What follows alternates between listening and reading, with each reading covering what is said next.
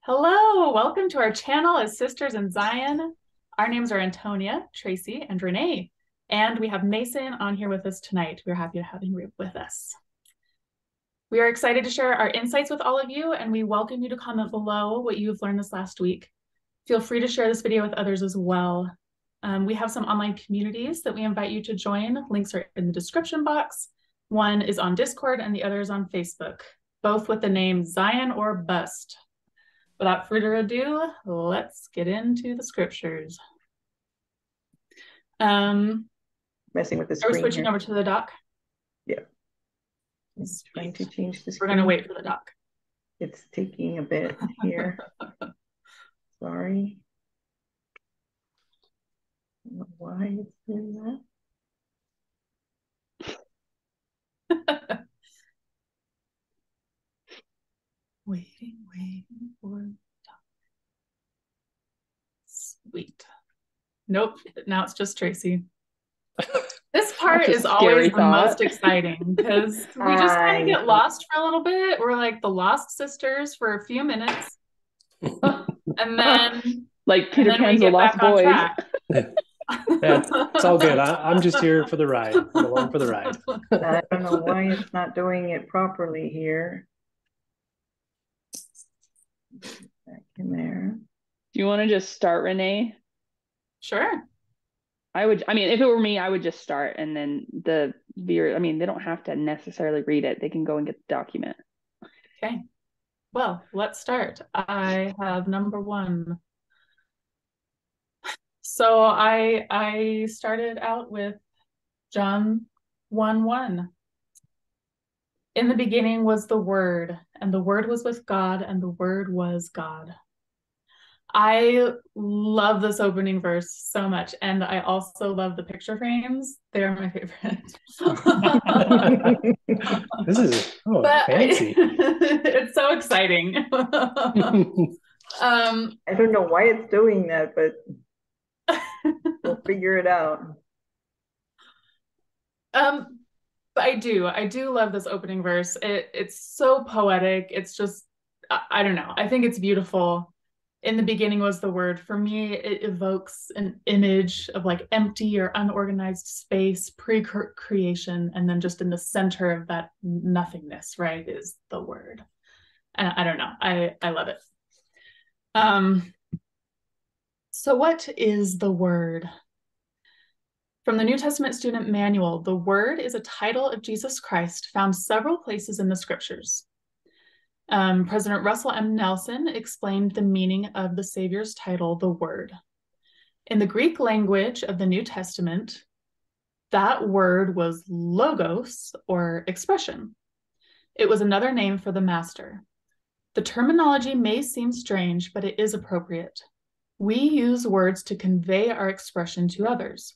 So Jesus was the word or expression of his Father to the world. The Gospel of John emphasizes that Jesus Christ is the messenger of the Father to the world. As such, he declares the Father's words. John 12, 49, For I have not spoken of myself, but the Father which sent me. He gave me a commandment what I should say and what I should speak. And I know that his commandment is life everlasting. Whatsoever I speak, therefore, even as the Father said unto me, so I speak. Doctrine and Covenants 93 8. Therefore, in the beginning the Word was, for he was the Word, even the messenger of salvation, the light and the Redeemer of the world. The Word is also the gospel, which is the message itself, which Jesus Christ brings to the world. The JST version of John 1 1 says, In the beginning was the gospel preached through the Son, and the gospel was the Word. And the Word was with the Son, and the Son was with God, and the Son was of God. Romans ten thirteen. For whosoever shall call upon the name of the Lord shall be saved. How then shall they call on him in whom they have not believed? And how shall they believe in him of whom they have not heard? And how shall they hear without a preacher? And how shall they preach except they be sent? So then, faith cometh by hearing, and hearing by the word of God. Or, as Joseph Smith put it a bit more succinctly in the lectures on faith, faith comes by hearing the word of God. So, by having the messenger of the word, we can then hear the word and begin to develop faith. The word is also descriptive of God's character. He will always keep his word. He is constant, unchanging, and perfectly reliable. Joseph Smith, Matthew 135. Although the days will come that the heaven and earth shall pass away, yet my words shall not pass away, but shall all be fulfilled. Back to the lectures on faith. Unless men have this idea that God is a being of truth, they cannot place confidence in his word. And not being able to place confidence in his word, they could not have faith in him. But believing that he is a God of truth and that his word cannot fail, their faith can rest in him without doubt. God's word is not only a pronouncement of what he will do in the future, it is also the power by which he works. Helaman 12, um, starting in verse 8, says, For behold, the dust of the earth moveth hither and thither to the dividing, dividing asunder at the command of our great and everlasting God. Yea, behold, at his voice do the hills and mountains tremble and quake, and by the power of his voice they are broken up and become smooth, yea, even like unto a valley. Yea, by the power of his voice doth the whole earth shake. Yea, by the power of his voice do the foundations rock, even to the very center. Yea, and if he say unto the earth, Move, it is moved.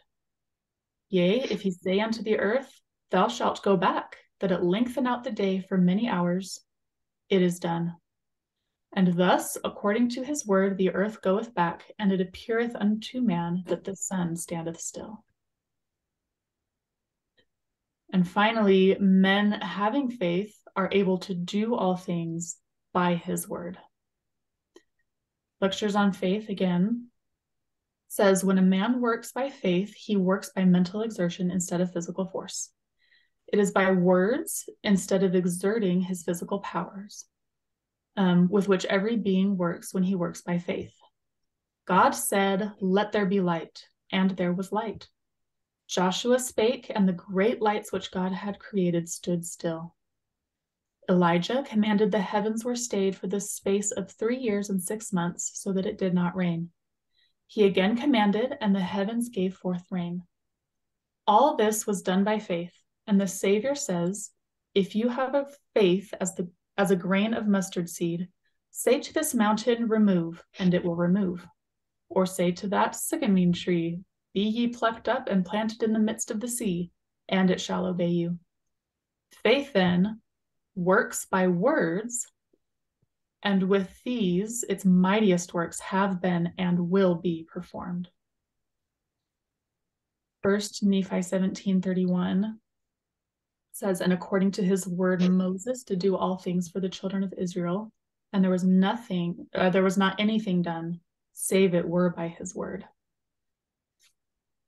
And ending here on Moses 7, and so great was the faith of Enoch that he led the people of God, and their enemies came to battle against them.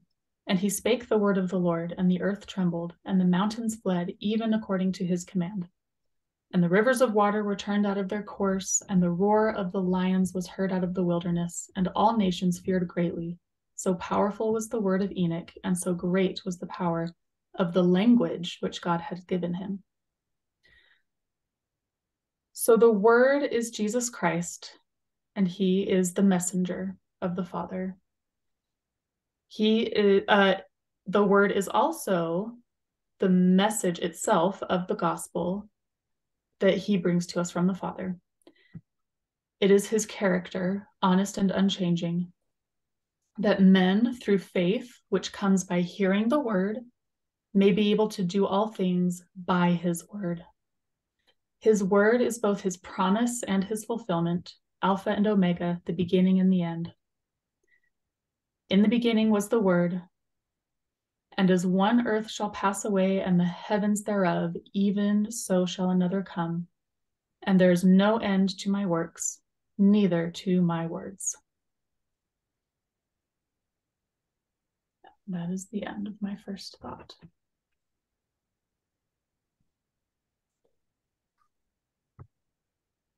Nice. Um, I really enjoyed that. I uh, I especially like the part where you mentioned the uh, was it God's word is a pronouncement of what He will do in the future, and mm-hmm. the power by which He works. Um, I don't know. It's really interesting. Like I think my section two or my insight two kind of talks a little bit more about the word, and uh, I like the way that you went about it, showing like the power of God through. Uh, was it um, was so powerful was the word of Enoch, and so great was the power and language which God had given him, and that Enoch was able to do some pretty amazing things through that power that mm-hmm. God has. And uh, today, whenever President Nelson speaks about using the priesthood power, protection by the priesthood power, uh, the power that comes through protection with the temples, it all makes me think back to these words of God, where it all and it you know you know in the beginning was the Word. In the beginning is where it all started with Jesus Christ, and that's where it's going to end is with Jesus Christ. But yeah, anyway, I really enjoyed that insight. That was pretty pretty neat. I, I like the way you took took the words. I kind of went more on like a personal level with it, so it's kind of neat to see it sort of fleshed out more among the power of God with with the prophets too. But yeah, this one was a fun one to write because as I was writing, I was like, oh, it really just feels like it highlights the one eternal round, right? Mm-hmm. It's like it's like the beginning and the end and the promise and the fulfillment, and it's just kind of circular. Yes. So yeah, yeah that was a fun one for me. I just really like the concept that faith works by words. Um, like when we have the confidence enough in like the scriptures and when we have the confidence enough like in what we say and um, the desires that we have in our with in our heart then we can say words and it will happen um, because faith works by words. And i i really love that. And i i hope that i can grow into that principle as i as i study and as i gain faith and knowledge um, uh, of the things that i can i can make it happen based upon you know the things that i can say. I don't know if that made sense. Mm-hmm. Mm-hmm. but that's one of my favorite lines actually in the lectures on faith. Yeah and that also feels like a circular concept to me because um sometimes i think well okay so i'm talking about myself my younger self um focus more on like the saying to a mountain you know be moved and the mountain moves, right? I'm like, well, but the other side of that is doing what you say you will do, right? So if I say mm-hmm. I'm going to do something, do I actually do it? Like, I can I control me first, and then as I do that, and as I gain trust with the Lord, then I will be able to do greater things through His Word, right? And so mm-hmm. it's this kind of, yeah, keeping your word, doing things through words, being true to your word and honest in your word. Mm-hmm. Um, yeah. Yeah, it reminds me of is it Moroni 7, verse 33. I, it's one of my favorite scriptures. Oh man, I hope I don't botch it. I should probably just look it up. I got a computer in front of me, but uh, it it says, uh, "And Christ ha- Christ hath said, um, whichever uh, whatsoever is ex- expedient in me, you shall have the power or something. I'm gonna have to look it up. I just totally butchered that, but uh, whatever is expedient in me, you'll have the power. If you have faith, you'll have the power to do it. Um, along those lines, and it kind of reminds me of what you'd mentioned there, like having that faith. If we have the faith to do God's work or uh, to listen to God's words, we're going to do His work. And it's like I think of like serving a mission, like how when I was young going on, I'm like, I'm 19. I'm from a tiny little town of a thousand or a couple thousand people. How the heck am I going to convert people to the gospel? And you just you learn the word, you you gain a testimony of it, and you just act and do it, and you speak, and you trust in that word. Mm-hmm. Um, hopefully that made sense, but I'll have to look up that scripture. So I I feel really bad botching it, but um, because it's my favorite one, and I'm now put on the spot and I cannot remember. But anyways, I'll pull it up here in a second. But Well, I think you're next also, Mason. Oh, me? Is I don't know if you want to roll into your first one. Sure. Um, let's see here. Lost the thing. Okay. so I started off with um, John chapter 1, verses 4 through 10. And so I just decided to kind of focus more on the light, uh, which is which is spoken of by John here. And I'll start by reading verses 4 uh, through 10. It says, In him was life, and the life was the light of men. And the light shineth in the darkness, and the darkness comprehended it not.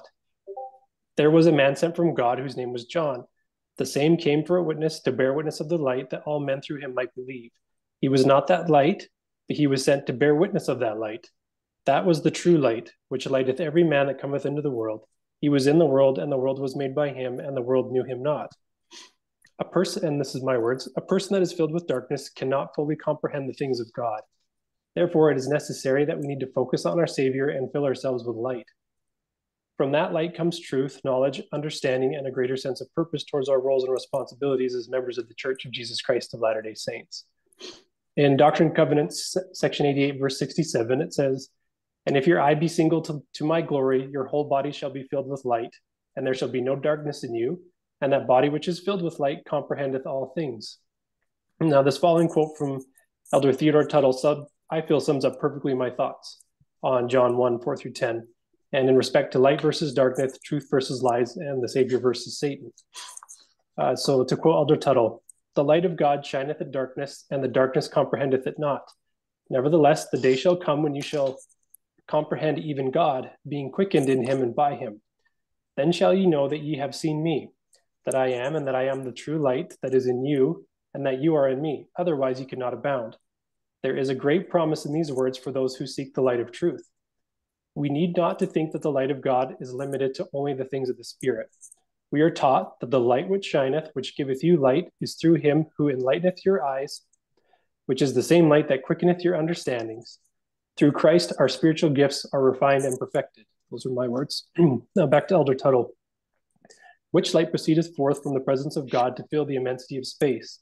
The light which is in all things, which giveth life to all things, which is the law by which all things are governed, even the power of God who sitteth upon his throne, who is in the bosom of eternity, who is in the midst of all things. Christ's light or God's light includes the physical light we see, which makes us feel so warm and comfortable. God's light is also the power to understand and comprehend all things. In other words, all kinds of light are related to intelligence and truth. This is substantiated by modern revelation, which teaches us more about Jesus Christ, who is he that ascended up on high, as also he descended below all things, in that he comprehended all things, that he might be in all and through all things the light of truth. Which truth shineth, this truth is the light of Christ. And also he is the sun and the light of the sun and the power thereof, which it was made by. And he is also the moon, and is the light of the moon and the power thereof, which was which it was made, and also the light of the stars and the power thereof, which they were made. And the earth also and the power thereof, even the earth upon which you stand the light of Christ, therefore, includes not only spiritual light, but also physical light, and is a key to understanding that form of energy which is represented by the light we see all around us. Satan is that wicked one who comes to take away light and truth from the children of men through their disobedience and because of the traditions of their fathers. But the Lord has commanded us to bring up our children in light and truth. And the opposite of light is darkness, and the opposite of truth is falsehood. That close quote from Elder Tuttle. And then I'll just share one more quote with Brigham Young. When true doctrines are advanced, though they may be new to hearers, yet the principles contained therein are perfectly natural and easy to, to be understood, so much so that the hearers often imagine that they had always known them. This arises from the influence of the spirit of truth upon the spirit of intelligence that is within each person. The influence that comes from heaven is all the time, all the time teaching the children of men. And the close quote from President Brigham Young. And that's the end of my first insight.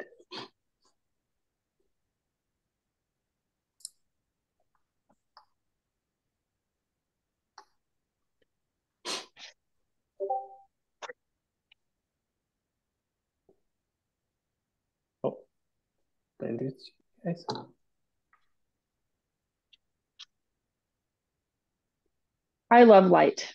Mhm. Um, it just illuminates everything.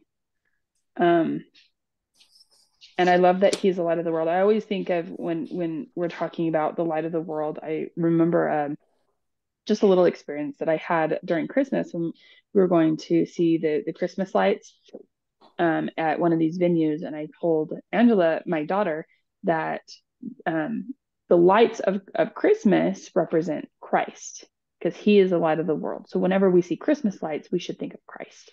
And I just love like just the simplicity of that um, and teaching, you know, my three year old. Um, but that you know light is so easily perceived because once it appears, it chases away the darkness. Um, and now, if we choose the darkness, then the light obviously goes goes away and is diminished. Um, but generally speaking, I don't know many people who like to be in the dark.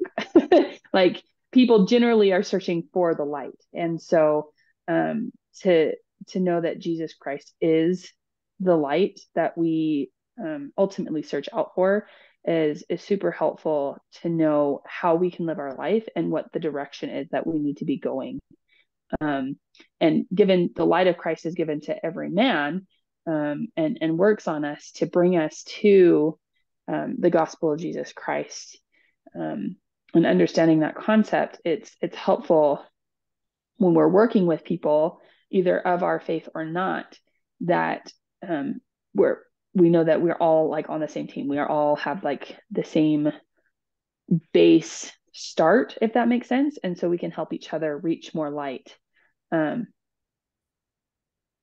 as we, you know, study and work together.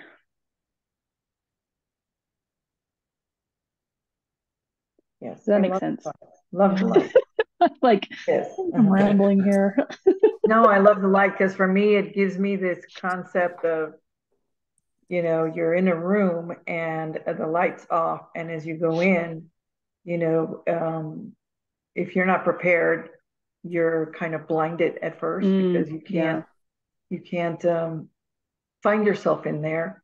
Um, so it takes you a while to get acclimated um, to the light or even from inside to outside because it's just so bright.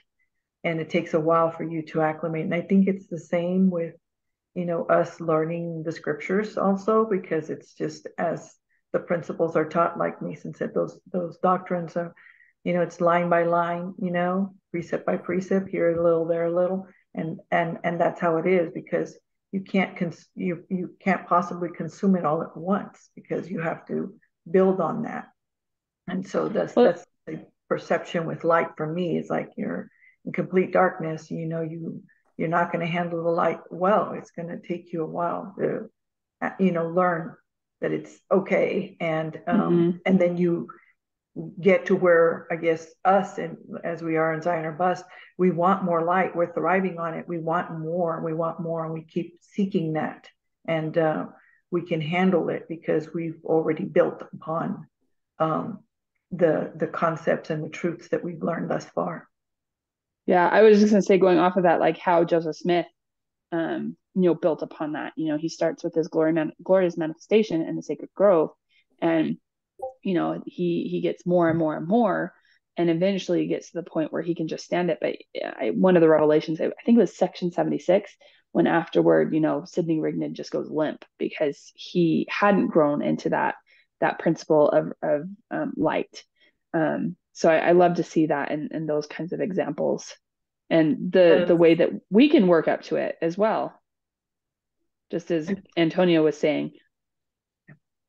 Absolutely Sidney says Sidney isn't as used to it as I am. yes, that's what he yeah, said. Yeah. Exactly. exactly. Spot on. Well, I, I like that. I threw that last quote in there from Brigham Young because I like what he said at the end there that the influence that comes from heaven is all the time teaching the children of men. Mm-hmm. So that we know that the light of Christ is in everything. He was the creator of the world, and so God's truth is is in His Word. It's in that light, and when it shines forth, or when someone bears testimony or teaches truth, like we're we're always having those experiences to learn and to grow. And but it's yeah, it's like like you said, it's just little by little, line upon line, precept by precept. But that's why I tossed that one in there. I, I thought that was great.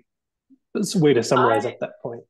Yeah, I love that. I was just thinking it's awesome that we will continue to learn.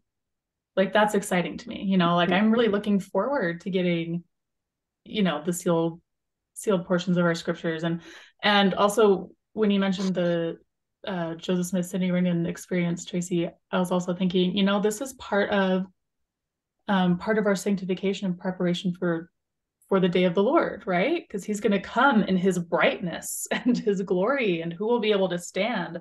Mm-hmm. The children of light, right? The people who have worked up and built up principle upon principle to the point that we can comprehend it. Be like Joseph in the story, mm-hmm. right? And say, oh, yeah, we're used to it.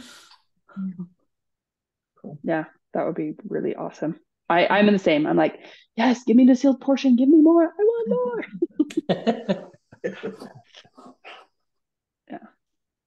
All right. Well, I'll oh, jump into okay. mine then. Um, my first insight is called Witnesses. So we've got John 1, uh, 35, 36, 37, 40, and 41. Again, the next day after John stood and two of his disciples, and looking upon Jesus as he walked, he said, Behold the Lamb of God. And the two disciples heard him speak, and they followed Jesus. One of the two who heard John and followed Jesus was Andrew, Simon Peter's brother. If you're looking at this document, um, the green is the Joseph Smith translation, and the cross out is what is in the King James Version. Um, he find, first findeth his own brother Simon and saith unto him, We have found the Messiah, which is being interpreted the Christ. So, my commentary in these scriptures, you can see several things happening. One, John the Baptist had disciples, meaning they followed his teachings, which we know were based upon scripture and revelation. Two, John bears witness of the true person to follow, even the Lamb of God, Jesus Christ. Three, two of the disciples of John heard John's testimony and no longer followed after him, but after Jesus, because they were never attached to the man, but to the doctrine. And then number four, after following the Savior and feeling the testimony born of the Spirit, one of the disciples, one disciple went and bore witness to his brother. In the Come Follow Me manual, it says, Have you ever wondered whether you would have recognized Jesus of Nazareth as the Son of God if you had been living, if he had been alive during his mortal ministry? For years, faithful Israelites, including Andrew, Peter, Philip, and Nathanael, had waited and prayed for the coming of the promised Messiah. When they met him, how did they know that he was the one they had been seeking? The same way all of us come to know the Savior, by accepting the invitation to come and see for ourselves. My commentary we ourselves, um, what did I write here? Have also, I think that's supposed to say have also. also. have we not? Midnight ramblings guys. Midnight ramblings. Okay we ourselves have also been waiting for years and i hope that we are waiting patiently being anxiously engaged in the cause and praying daily day and night for deliverance from our babylonian captivity we are we avoiding being lazy learners and lax disciples by thoroughly studying the scriptures and knowing who jesus christ is through the through what they teach are we having encounters with the Spirit, being sanctified Him, and having testimony borne by by Him of the Savior to fortify our own foundation, so that when the whirlwinds of the devil come, we will not be moved? Will we be able to see the Savior as He is because we have become like Him through developing the attributes of Him, so that His image is reflecting in our countenances?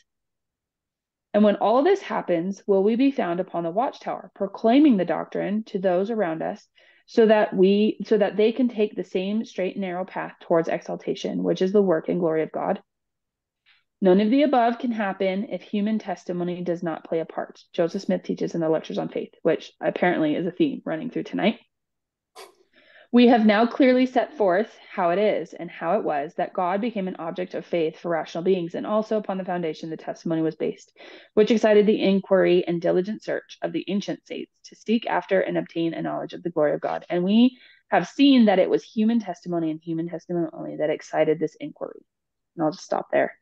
So, John's testimony left no doubt that he knew of his own divinely appointed preparatory mission and the divinity of the preferred one who would come after him. And that's from the New Testament student manual. So, my commentary John essentially had had his patriarchal blessing and knew the roles that he was foreordained to play during his mortal probation. We are no different. We can make the same choices that John did to stay true to the doctrine, proclaim the gospel, and fulfill the the missions or objectives that we have in this life to fulfill. The impact that the testimony that John shared is priceless. He was sent to prepare the way, and that is exactly what he did. In the New Testament student manual, um, President Dallin H. Oaks um, speaks of why testimonies of divine truths, we should share those with others. He says, Those who have a testimony of the restored gospel also have a duty to share it. The Book of Mormon teaches that we should stand as witnesses of God at all times and in all things and in all places that we may be in. One of the most impressive teachings on the relationship between the gift of, of a testimony and the duty to bear it is in the 46th section of the Doctrine and Covenants. Those who have the gift to know have an obvious duty to bear their witness so that those who have the gift to believe on their words might also have eternal life. There has never been a greater need for us to profess our faith privately and publicly. Though some profess atheism, there are many who are open to additional truths about God. To these sincere seekers, we need to affirm the existence of God, the eternal Father, the divine mission of our Lord and Savior Jesus Christ, and the reality of the restoration. We must be valiant in our testimony of Jesus. So, my commentary, what does what happens to those who are not valiant in their testimonies of Jesus? Let's just take that for a minute. In Doctrine and Covenants 76, we read, Wherefore they are they are bodies terrestrial and not bodies celestial, and differ in glory as the moon differs from the sun. These are they who are not valiant in the testimony of Jesus, wherefore they obtain not the crown over the kingdom of our God. So if you look up valiant in the dictionary, it says um, primarily strong, brave, uh, courageous, heroic, performed with valor. Synonym, synonyms to valiant are fearless, indomitable, strong willed, bold, steadfast, stalwart, undaunted, and worthy. A testimony. This is taken from um, Bruce R. McConkie's Mormon Doctrine. It says, a testimony is sure knowledge received by revelation from the Holy Ghost of the divinity of the great latter day work. If the sole source of one's knowledge or assurance of the truth of the Lord's work comes from reason or logic or persuasive argument that cannot be controverted, it is not a testimony of the gospel. It is the promptings of the Spirit rather than reason alone that is the true foundation upon which the testimony rests. In Revelation 9 19, it says, The testimony of Jesus is the spirit of prophecy. So to be valiant in the testimony of Jesus is to be stalwart, undaunted, unwavering in the witness that he has borne to us by the Holy Ghost concerning the divinity of the Savior, his gospel, his prophet, and his church.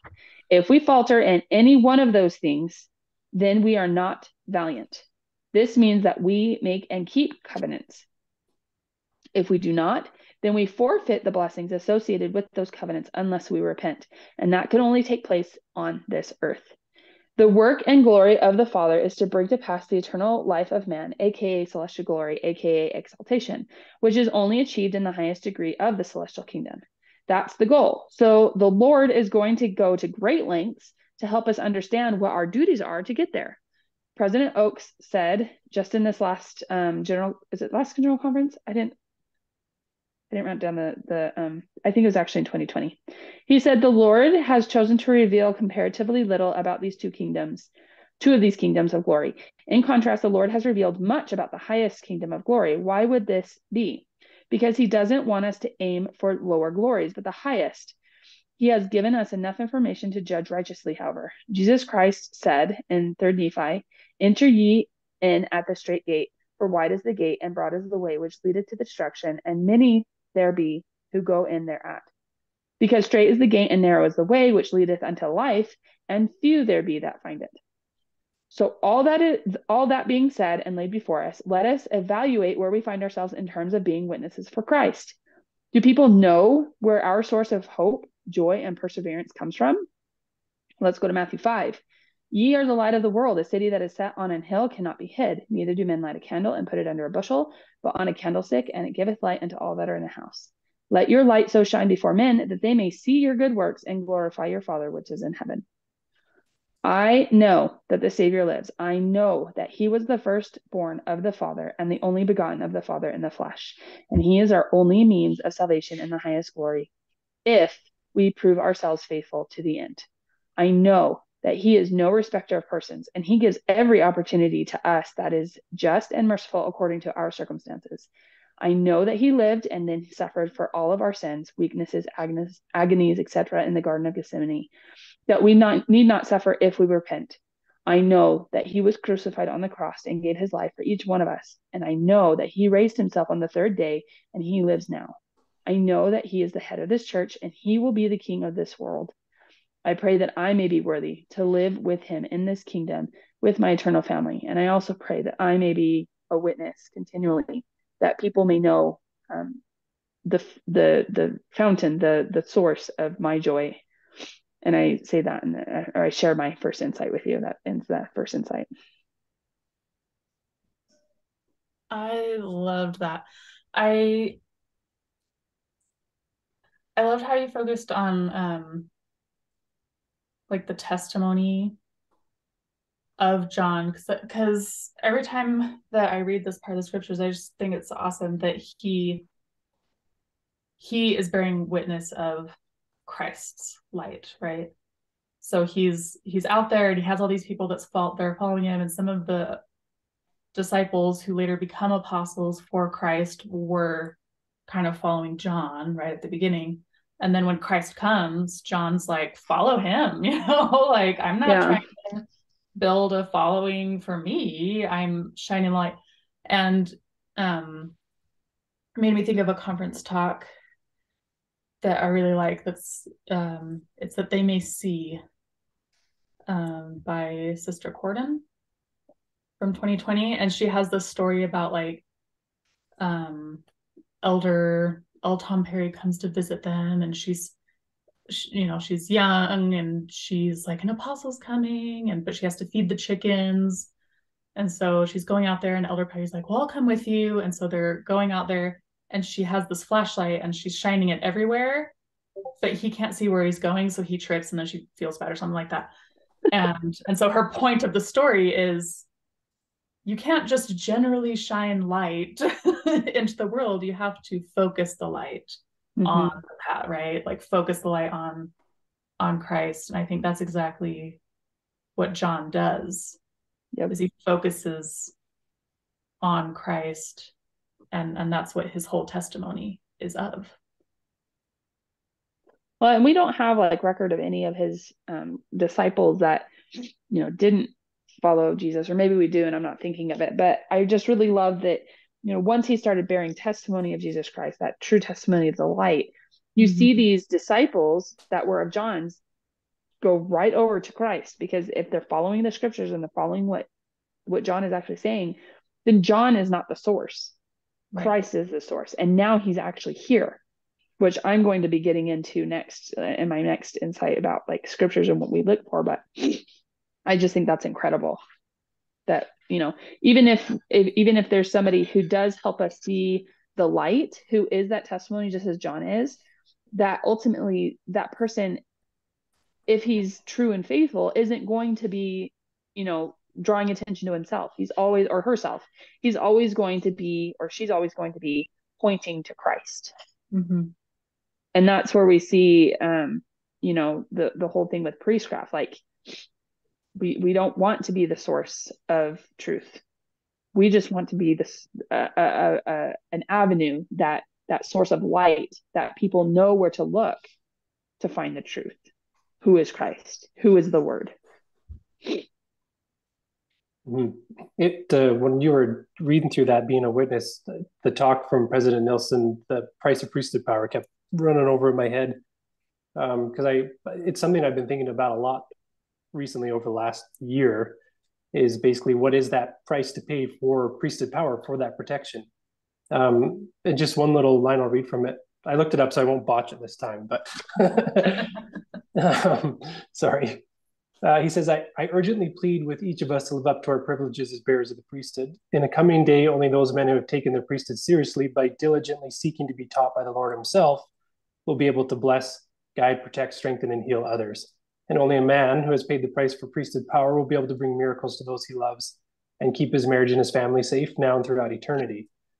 Um, and I've been studying this talk a lot lately, and one scripture I connected to it um, was oddly enough, it came up through the Old Testament, and I think you guys actually talked about this um, in one of your as Sister in Zion episodes. Uh, but it's from Lamentations 4 2. and this, when I read this, it like Lamentations was kind of heartbreaking. I really like, I was really sad reading through that. But um, so in chapter four, verse two, it says, "The precious sons of Zion, comparable to fine gold, how are they esteemed as earthen pitchers, the work of the hand, the work of the hands for the, of the potter? First, the sons of Zion, once compared to fine gold, had become inferior vessels like those made of earth and clay. And that part's from the student manual.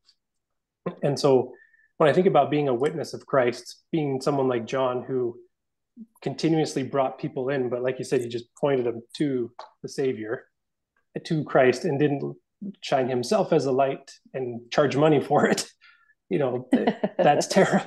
I just still can't get over that sometimes. But um, but to really have that priesthood power to pay that price for that, I think it comes with being a witness of Christ, being a missionary, testifying it, seeking him after him daily and learning from him through the light, through the power of the Holy Ghost, seeking to be taught by Christ himself. Then I think we're able to really access into some of that power and receive protection because we'll be acting in accordance to his will and bringing other people unto Christ too, and they will in turn do the same, just like his mm-hmm. disciples did. But, anyways, those are my kind of thoughts on it. But I thought it was awesome. Thank you. All right, Antonia, are you ready? Are you ready? Yes, I'm ready. Um, I'm going to uh, make note of what you put here that on your testimony here that he is no respecter of persons and he gives every opportunity to us that is just and merciful according to our circumstances. I love that. Um, I felt, um, you know, a nudging when I when I read um, this uh, section in John one, verse 14, 16, and 17, and um, emphasis on His uh, grace and truth. It says, "And the same Word was made flesh and dwelt among us, and we beheld His glory, the glory of the only begotten of the Father, full of grace and truth." For in the beginning was the Word, even the Son, who made who is made flesh and sent unto us by the will of the Father. And as many believed on his name shall receive of his fullness, and of his fullness have all we received, even immortality and eternal life through his grace. For the law was given through Moses, but life and truth came through Jesus Christ. In the student manual for this section, um, it says, the only time in the New Testament when Jesus Christ is described as being full of grace and truth is in John 1:14. Latter-day scriptures describe the Savior as being full of grace and truth an additional seven times. The Savior shares with us his fullness as described in John 1 16 and 17, including his grace, which he freely gives to us.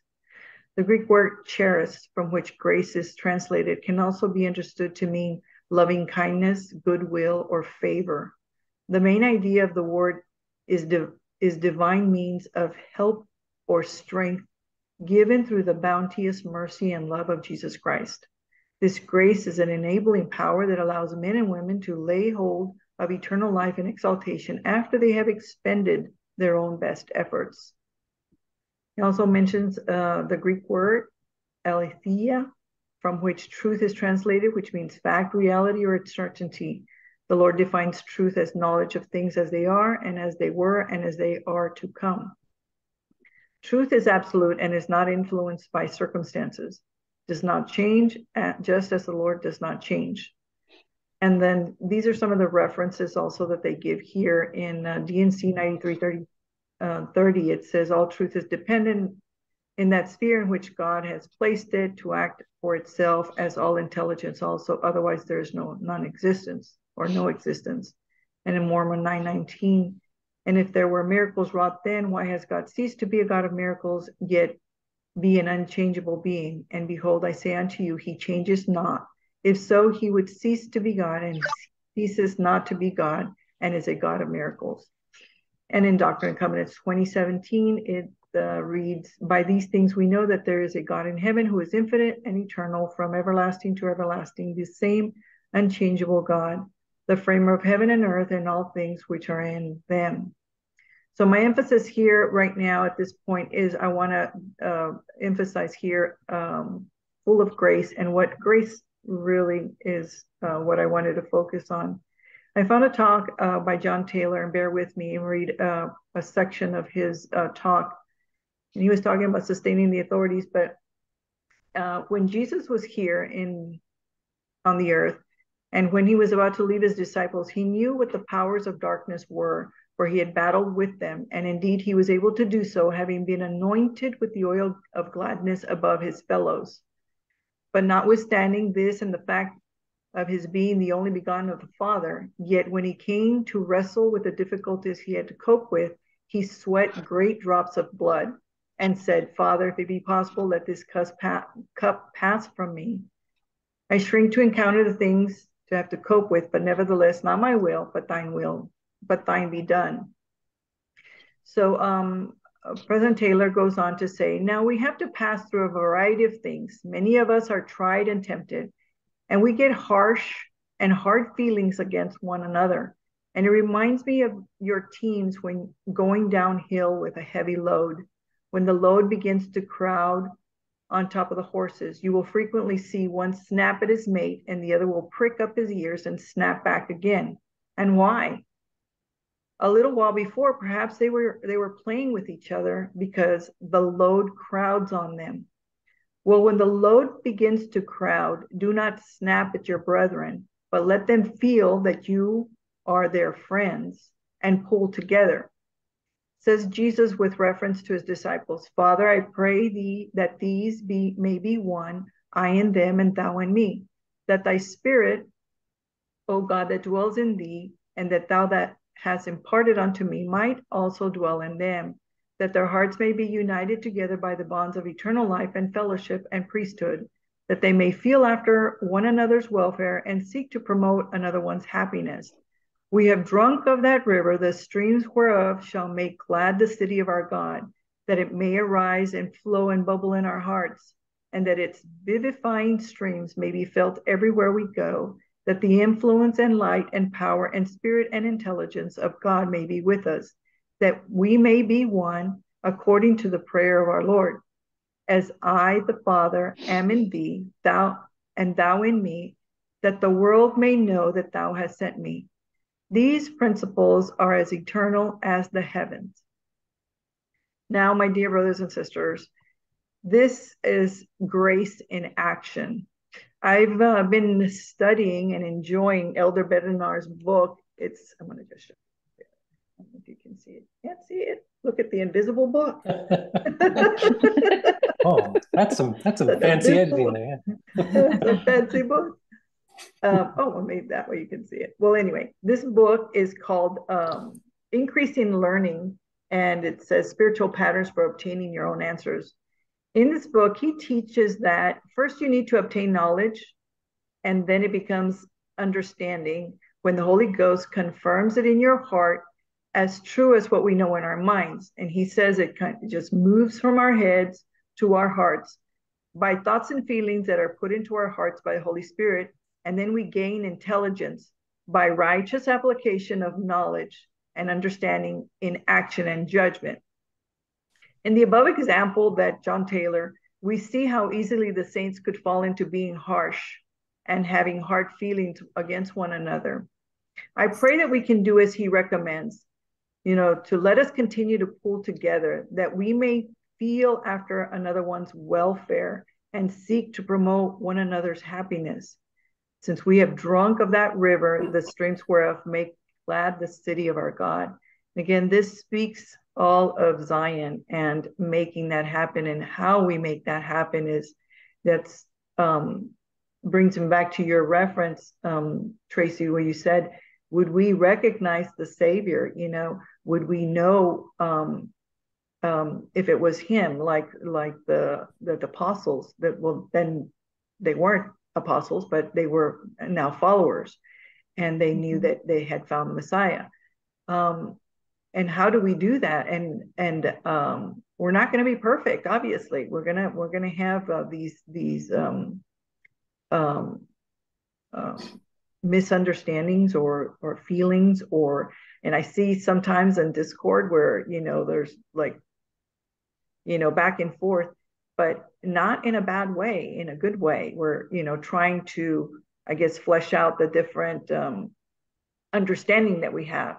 And sometimes it's like Elder Bednar says, at first, you know, we have this knowledge of, you know, the scriptures, and then he, the, the spirit then, as we uh, subject ourselves to the spirit and say, you know, I, I you know, I need um, understanding, and then He will uh, uh, reveal that to us in a way that we can, we ourselves will know, and then we are then um, able to uh, understand and have that light or that intelligence and apply it and say, oh, this is how um, I, am applying it uh, righteously. In other words, uh, attending to my brothers and sisters in this way, like you were saying, not just by um, lifting up your voice and saying, you know, um, here's my understanding of the scriptures, and then I'm done with that. No, that means like every minute of every day in practicing not only um, verbally, but also in in your presence when you uh, where where you're at and how the people that you affect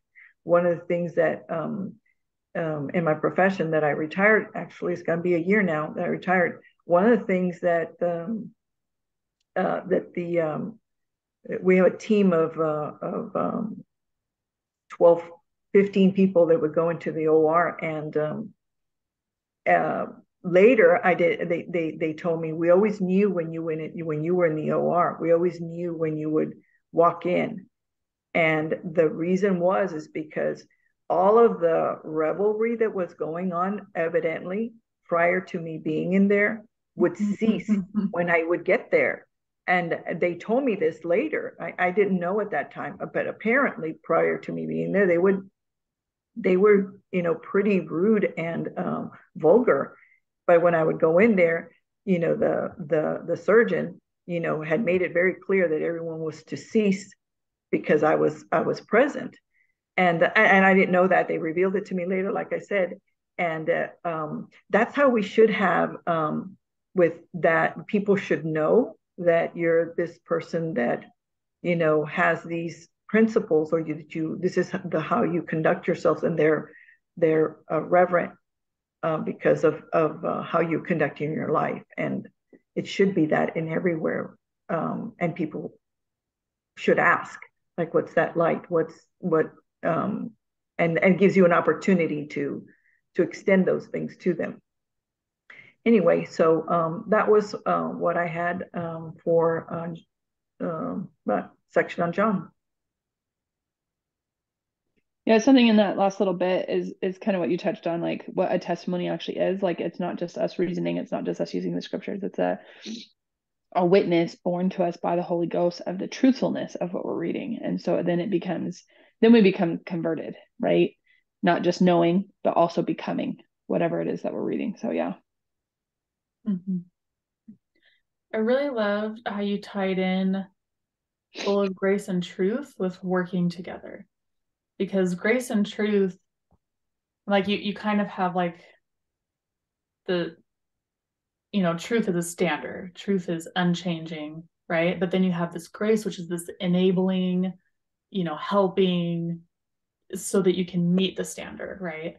So I'm like, how do we apply that to our working together? Well, we don't lower our standard, right? It's like we, we still have the truth, we still have the standard, but then we have this grace enabling, helping, you know, pulling together, being yoked together, right?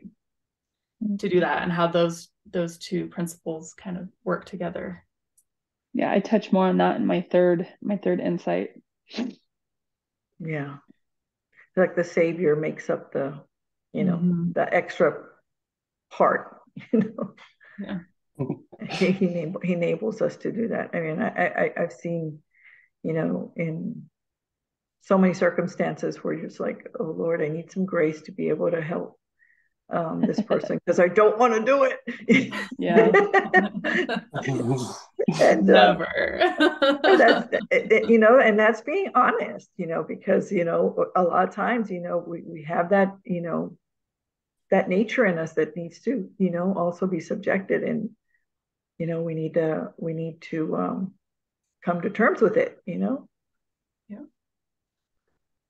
I like that uh, quote you shared by John Taylor with the when like they feel the load creeping up on them and they just start snapping at their brethren and they have to remember like okay take it easy it's not their fault like there's there's a load being pushed on our backs here let's work together and get this down safely and i kind of feel like we're at that point today with everything that's going on in the world, with the iniquity, the cup running over, the Assyrians just come at us hard, you know, and it's it feels like that load is encroaching upon us fast and hard. And we're going down that hill, and it's like, all right, we could we can curse God and die, or we can start cursing each other and fall apart like pieces, it, it like glass, or you know, we can calm down, find people that we can work with, get together, and just make sure that load gets down safely, and that we just saved as many people along the way. And I kind of feel like Discord's been like that for me, finding that group of people, like that coupled with the Old Testament "Come Follow Me" this year has really helped define to me what Israel actually is and what the work of God actually is and how to follow the will of God is is gathering the gatherers, getting together with with scattered Israel through means of communications, however it may be, and working and testifying together and, and helping each other. So I, I really enjoyed that quote. I that was something I could really relate to. But yeah, I don't know if that makes sense, but oh, it's a real visual, you know, because you know when they when you're yoked together, a lot of times we think it's just, you know, you carrying the load and you're just like, and you have to realize that it's the same load and that we're yeah. all carrying it, you know, and it's in a different way that we're doing it, but it's the same load. And so, yeah, it's real easy to just say, like, but mine's heavier. you know, you know, I have. Well, and that brings to mind one of my favorite scriptures in Matthew, where it says that um, if you um, take my burden upon you you know my my burden is light and easy to be to be borne um i you know mason i just butchered that scripture but it's in matthew 11 um um and so if we're we're yoked together light. but we also yeah we also need to be yoked to christ right um because if we're trying to do it our own way and not the way christ has set forth then we're also going to have troubles even if we yep think that we're doing it together. Does that make sense? Yeah. We have to do it the Lord's way as well. And so I really like that because his burden is light. He's already he's already borne the burden for us. Um, we just need to be or do what he's asked us to do. Yeah. Well, it's, it kind of reminds me of like when we were growing up, you know, and and um, you know, house cleaning. It was like one of those things that you, you if you didn't do it, you didn't have you know you couldn't go anywhere or do anything you know and you know the my brothers there they were not very helpful you know they, if anything they just made it more difficult but you know it it it was an all or nothing thing you know it, it was either all done and some mm-hmm. you know would get privileges or not and um that was a difficult thing to do a lot of times because you had brothers that were, well, at least my brothers, and you know, they weren't helpful. In fact, they were, you know, causing more problems. But nonetheless, you know, we, you know, it, it's that same principle is just that it's it's it's an all effort, you know, not just one individual. And um, however, in the end, it has to show that we're doing it together. You know, mm-hmm. it's a teamwork, just like he says and uh, the Savior says, you know, that um, I am in thee and thou in me, you know, and he wants us to be like he is with the Father, you know, and it's hard for us to set ourselves aside and make us understand, you know, that our brother's needs, if we're ultimately, you know, being like the Savior and emulating the Savior, our brother's needs and um, feelings and everything are going to be more important than our own, as Christ's example has shown us. And so, um, yeah, it's a difficult thing, but um, it's possible through His grace.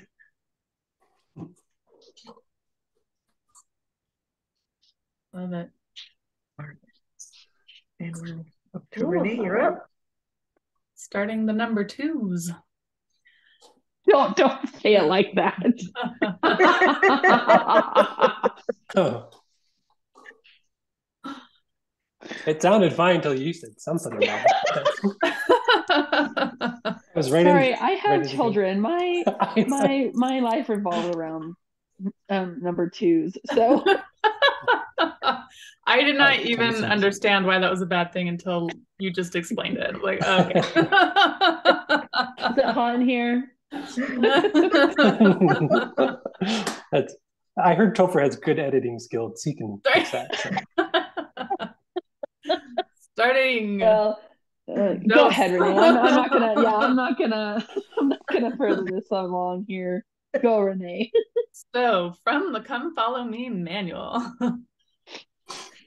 Although we are all spirit sons and sons and daughters of God the Father, when we sin, we become estranged or separated from Him. Jesus Christ offers us a way back through His atoning sacrifice. Ponder what John 1 11 through 13 teaches about becoming sons and daughters of God. Consider also what these scriptures teach about how we receive this gift. What does it mean to you to have power to become a son or daughter of God? So, John 1 11 through 13 says, He came unto his own, and his own received him not. But as many as received him, to them gave he power to become the sons of God, even to them who believe on his name, which were born not of blood, nor of the will of the flesh, nor of the will of man, but of God. So, what defines those who are born of God and given power to become his sons and daughters? As many as received him. And how do we receive him? Doctrine and Covenants 39 5 says, And verily, verily, I say unto you, he that receiveth my gospel receiveth me, and he that receiveth not my gospel receiveth not me. Doctrine and Covenants 25 1 says, For verily I say unto you, all those who receive my gospel are sons and daughters in my kingdom. So, to receive the Savior, we must receive the gospel. But what does it mean to receive? If you look at the word receive in the index to the triple combination, you'll find under C also the words accept, partake, obtain, and reap. Um, I didn't actually write this out, but as I was pondering those words, I actually um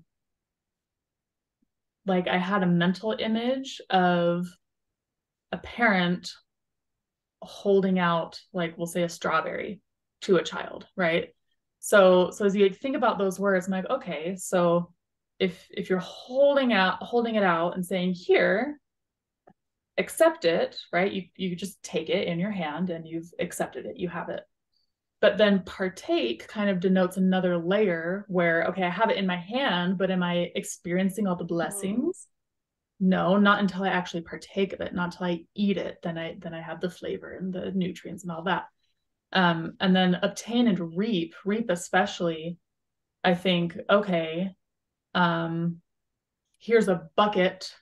I want you to go receive those ripe strawberries that are in the garden right? Now you have to go do something to receive them or if you go all the way to reap you know maybe, maybe you're you have seeds and and you want to receive the bounty and you have to like do everything to get them anyway, so like there's these different levels of what it means to receive something and how passive or active um, our part is required to be. Right. So, okay. So then going forward into Doctrine and Covenants 41 5, he that receiveth my law and doeth it, the same as my disciple. And he saith, and he that saith he receiveth it and doeth it not, the same is not my disciple, and shall be cast out from among you. Joseph Smith, in Teachings of the Prophet Joseph Smith, said, All men who become heirs of God and joint heirs with Jesus Christ will have to receive the fullness of the ordinances of his kingdom. And those who will not receive all the ordinances will come short of the fullness of that glory if they do not lose the whole. Then going into Mosiah 5, says King Benjamin, verse 7 And now, because of the covenant which ye have made, ye shall be called the children of Christ, his sons and daughters. For behold, this day he hath spiritually begotten you. For you say in your hearts that you are changed through faith on his name. Therefore, ye are born of him, and have become his sons and his daughters. And under this head ye are made free, and there is no other head whereby ye can be made free. There is no other name given whereby salvation cometh. Therefore, I would that ye should take upon you the name of Christ, all you that have entered into the covenant with God, that ye should be obedient unto the end of your lives and it shall come to pass that whosoever doeth this shall be found at the right hand of God, for he shall know the name by which he is called, for he shall be called by the name of Christ. This is President Joseph F. Smith from 1900. It matters not how many good things we may hear, nor how much we may know, if we do not apply the instructions we receive and the knowledge we possess to the accomplishment of the work that we have at hand. The paramount duty is to labor for Zion and work for our own salvation, that we may gain victory over ourselves and over the powers of evil that are in the world. The gospel has been preached to us, and we have essayed to obey it, that we might become the sons and daughters of God, heirs of God and joint heirs with his son. Quickly here at the end, I wanted to go a little bit into one of the gospel covenants uh, that we covenant to obey is the law of consecration. And I love this talk. It's President Marion G. Romney. He says, Whenever the Lord has had a people who would accept and live the gospel, he has established the united order. He established it among the people of Enoch, of whom the record says, The Lord blessed the land, and they were blessed upon the mountains and upon the high places, and did flourish. And the Lord called his people Zion, because they were of one heart and one mind, and dwelt in righteousness, and there was no poor among them. The united order exalts the poor and humbles the rich. In the process, both are sanctified. The poor, released from bondage, uh, released from the bondage and humiliating limitations of poverty, are enabled as free men to rise to their full potential, both temporally and spiritually. The rich, by consecration and by imparting of their surplus for the benefit of the poor, not by constraint, but willingly as an act of free will, evidence that charity for their fellow men characterized by Mormon as the pure love of Christ. In this way, they qualify to become the sons of God. Then ending with Moroni 7 Wherefore, my beloved brethren, pray unto the Father with all the energy of heart, that ye may be filled with this love, charity, which he hath bestowed upon all who are true followers of his Son, Jesus Christ, that ye may become the sons of God, that when he shall appear, we shall be like him, for we shall see him as he is, that we may have this hope that we may be purified even as he is pure. Amen.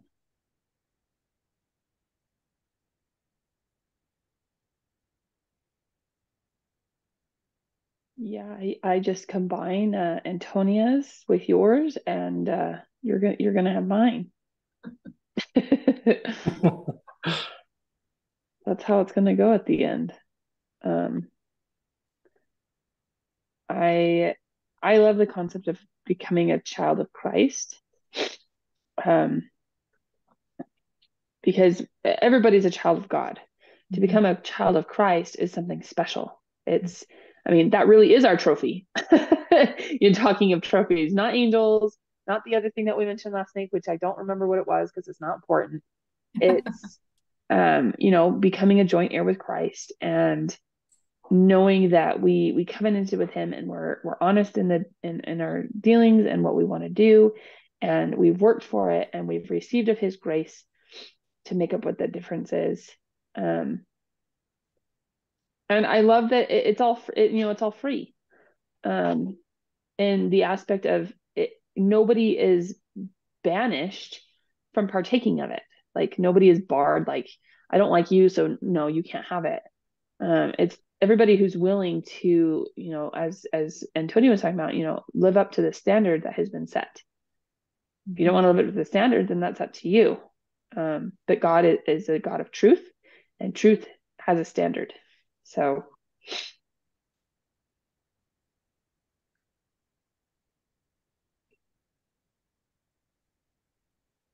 Yeah, I, I like what you said there, where God has a standard and truth is that standard. and I think of like one of the standards that we we do when we do all of our labors and our works in this life and for this for everything we do should be for uh, like President Joseph F. Smith said in your quote uh, that our paramount duty is to labor for Zion and work for our own salvation, that we can gain the victory over ourselves and over the powers of evil that are in the world.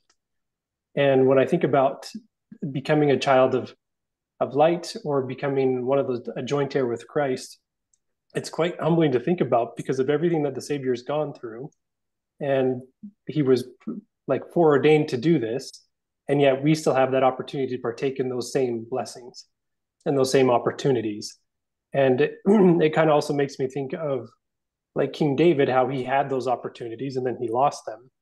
But we are still able to to have that and have that accessible because through through David, through him, Christ will come.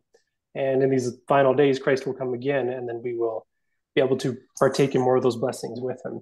And it just is, uh, I don't know, every time I think about this subject and this topic, it just, it's fairly overwhelming to, to think that we'll be known as joint heirs with Christ, to be known as joint heirs with Savior, with our Savior. But we can't do priestcraft. we can't we can't not labor for Zion. Everything has to be done for those purposes, and everything has to be directed towards Christ. But yeah, loved it. I thought that was great.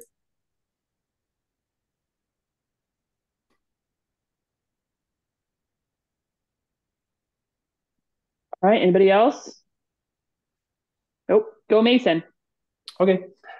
Perfect. Um, so I kind of went to John 1 17 for my second insight, um, but I focus more on the truth part um, so I'll start off with reading that verse. Uh, so, verse 17 For the law was given by Moses, but grace and truth come by Jesus Christ. So, what do we do?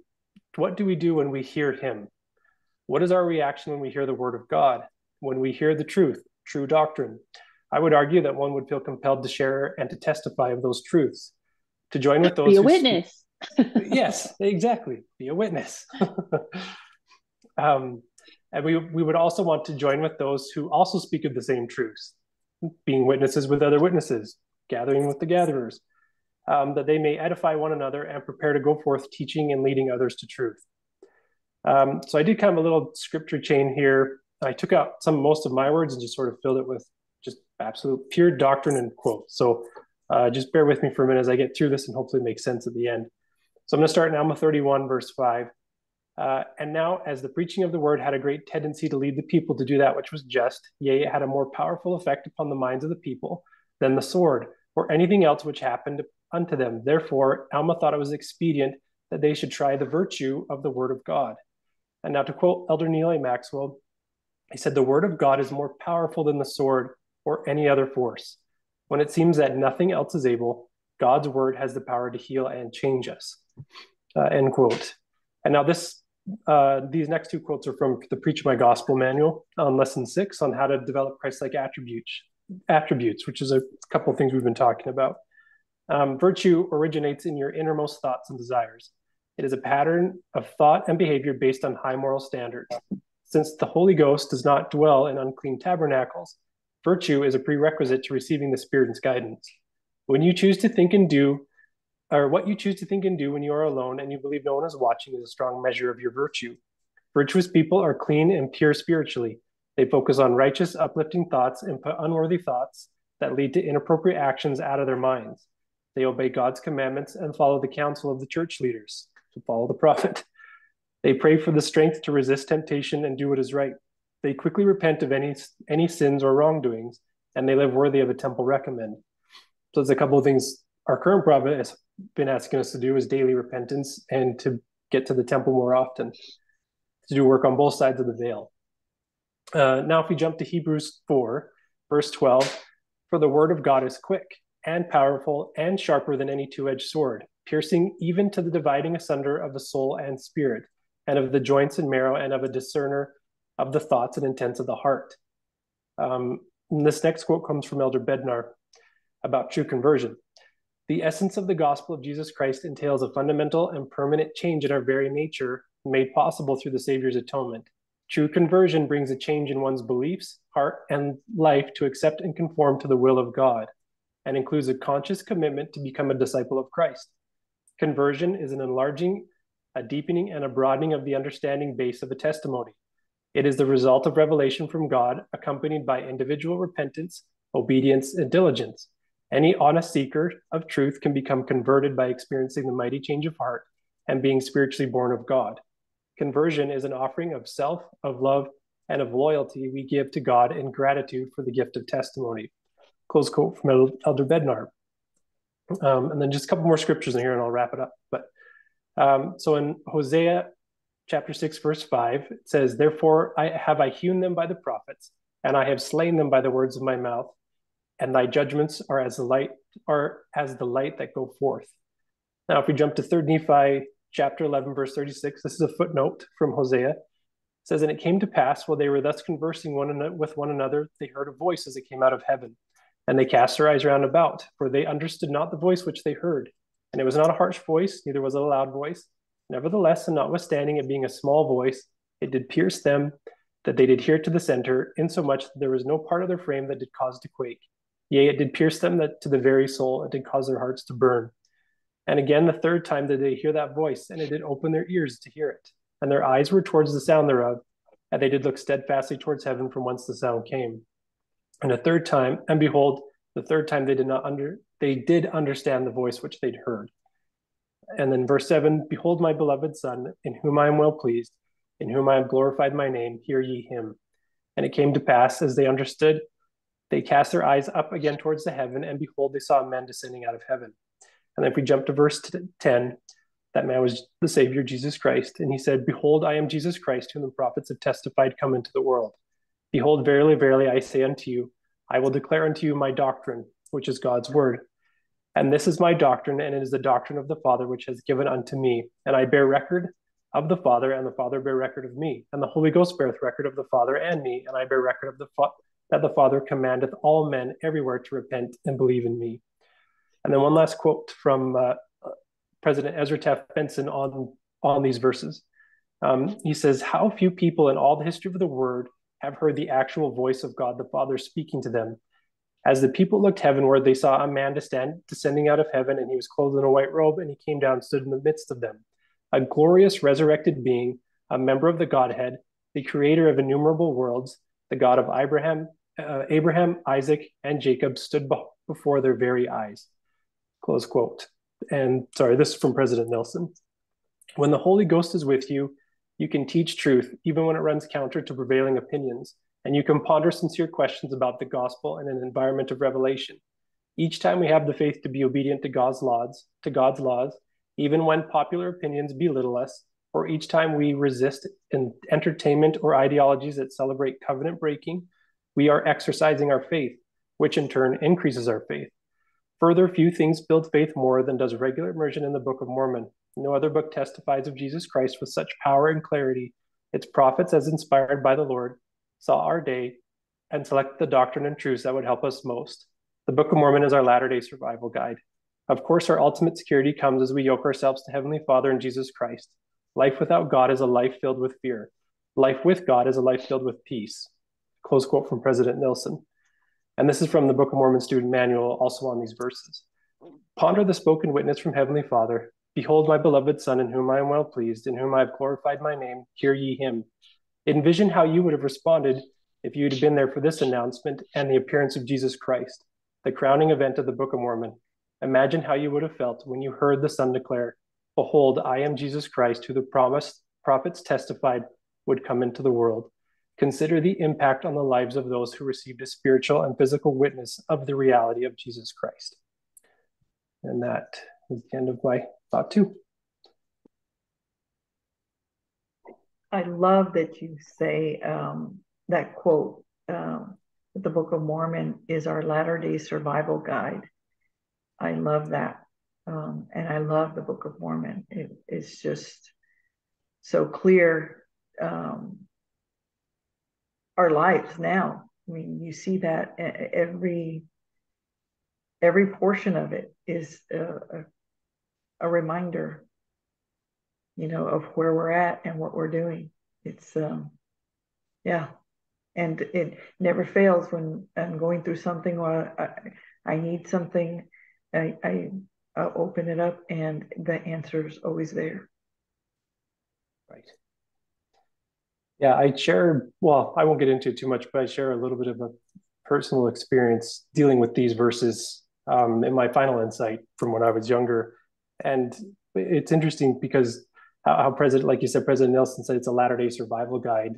It was something, the Book of Mormon and learning how to actually properly study the scriptures was something that has navigated my life through the toughest things I've ever been through.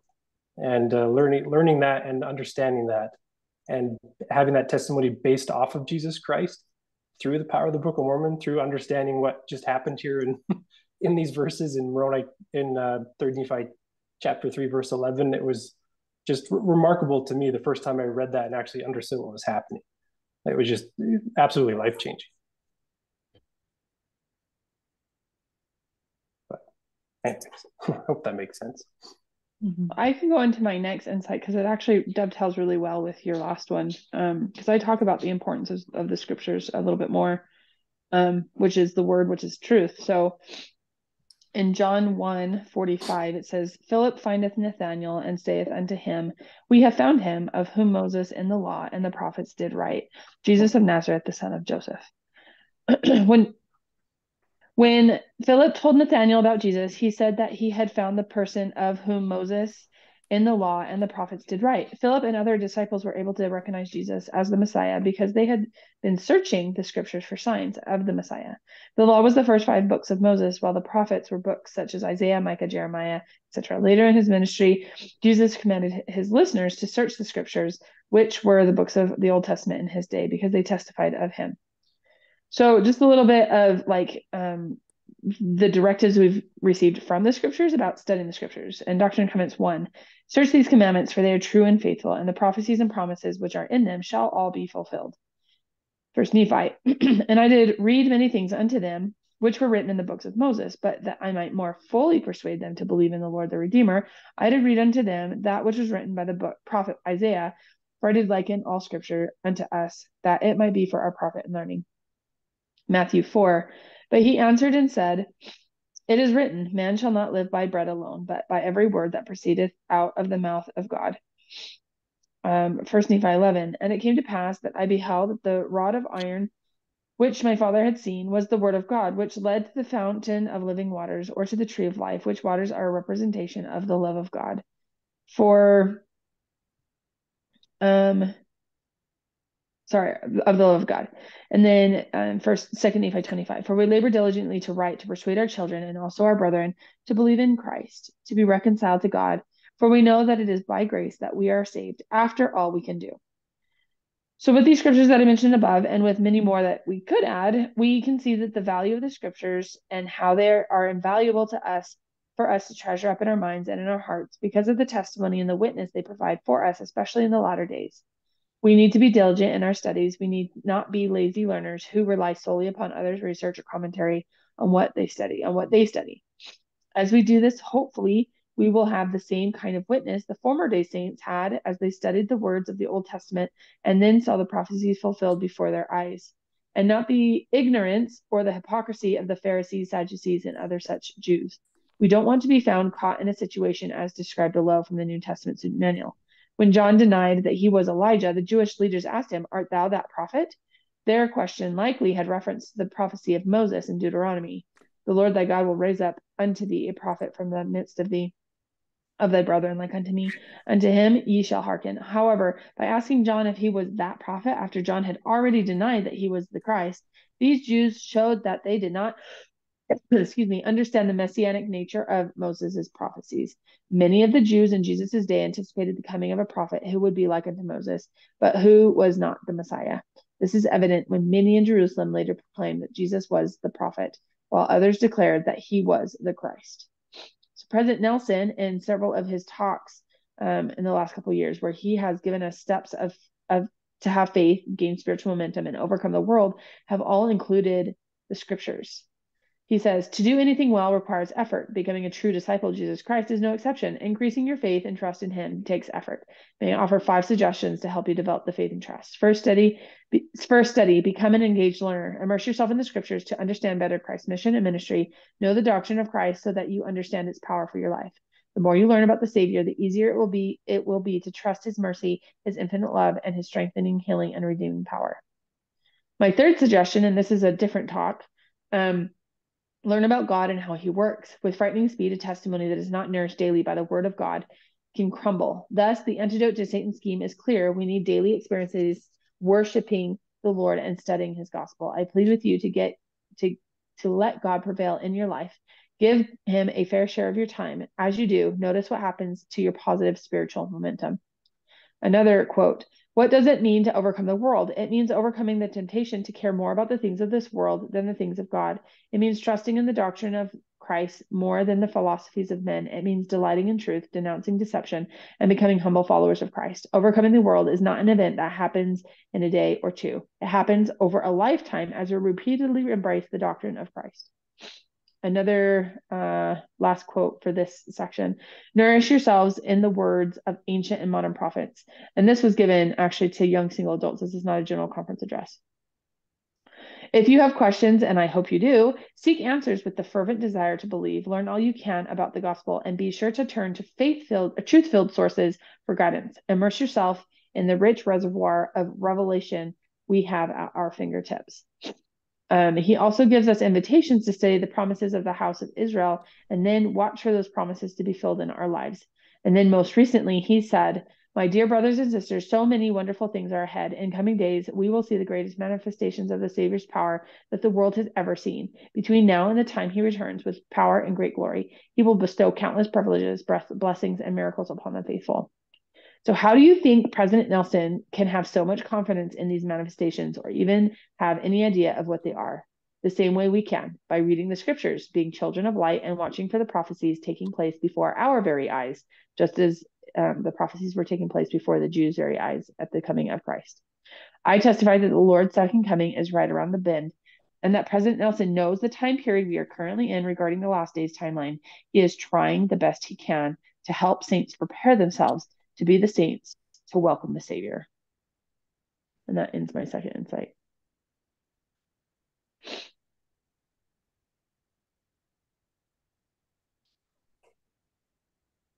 All right, that that was awesome. Can you guys hear me? Yes. Yep. Okay. Sorry, my I had to charge my I'm on my iPhone because I forgot my work computer doesn't have a camera. um, so I had to pause to charge it for a second. but I liked what you um, mentioned there right at the very end. Um, how President Nelson, how can he have so much confidence in what he's telling us and teaching us?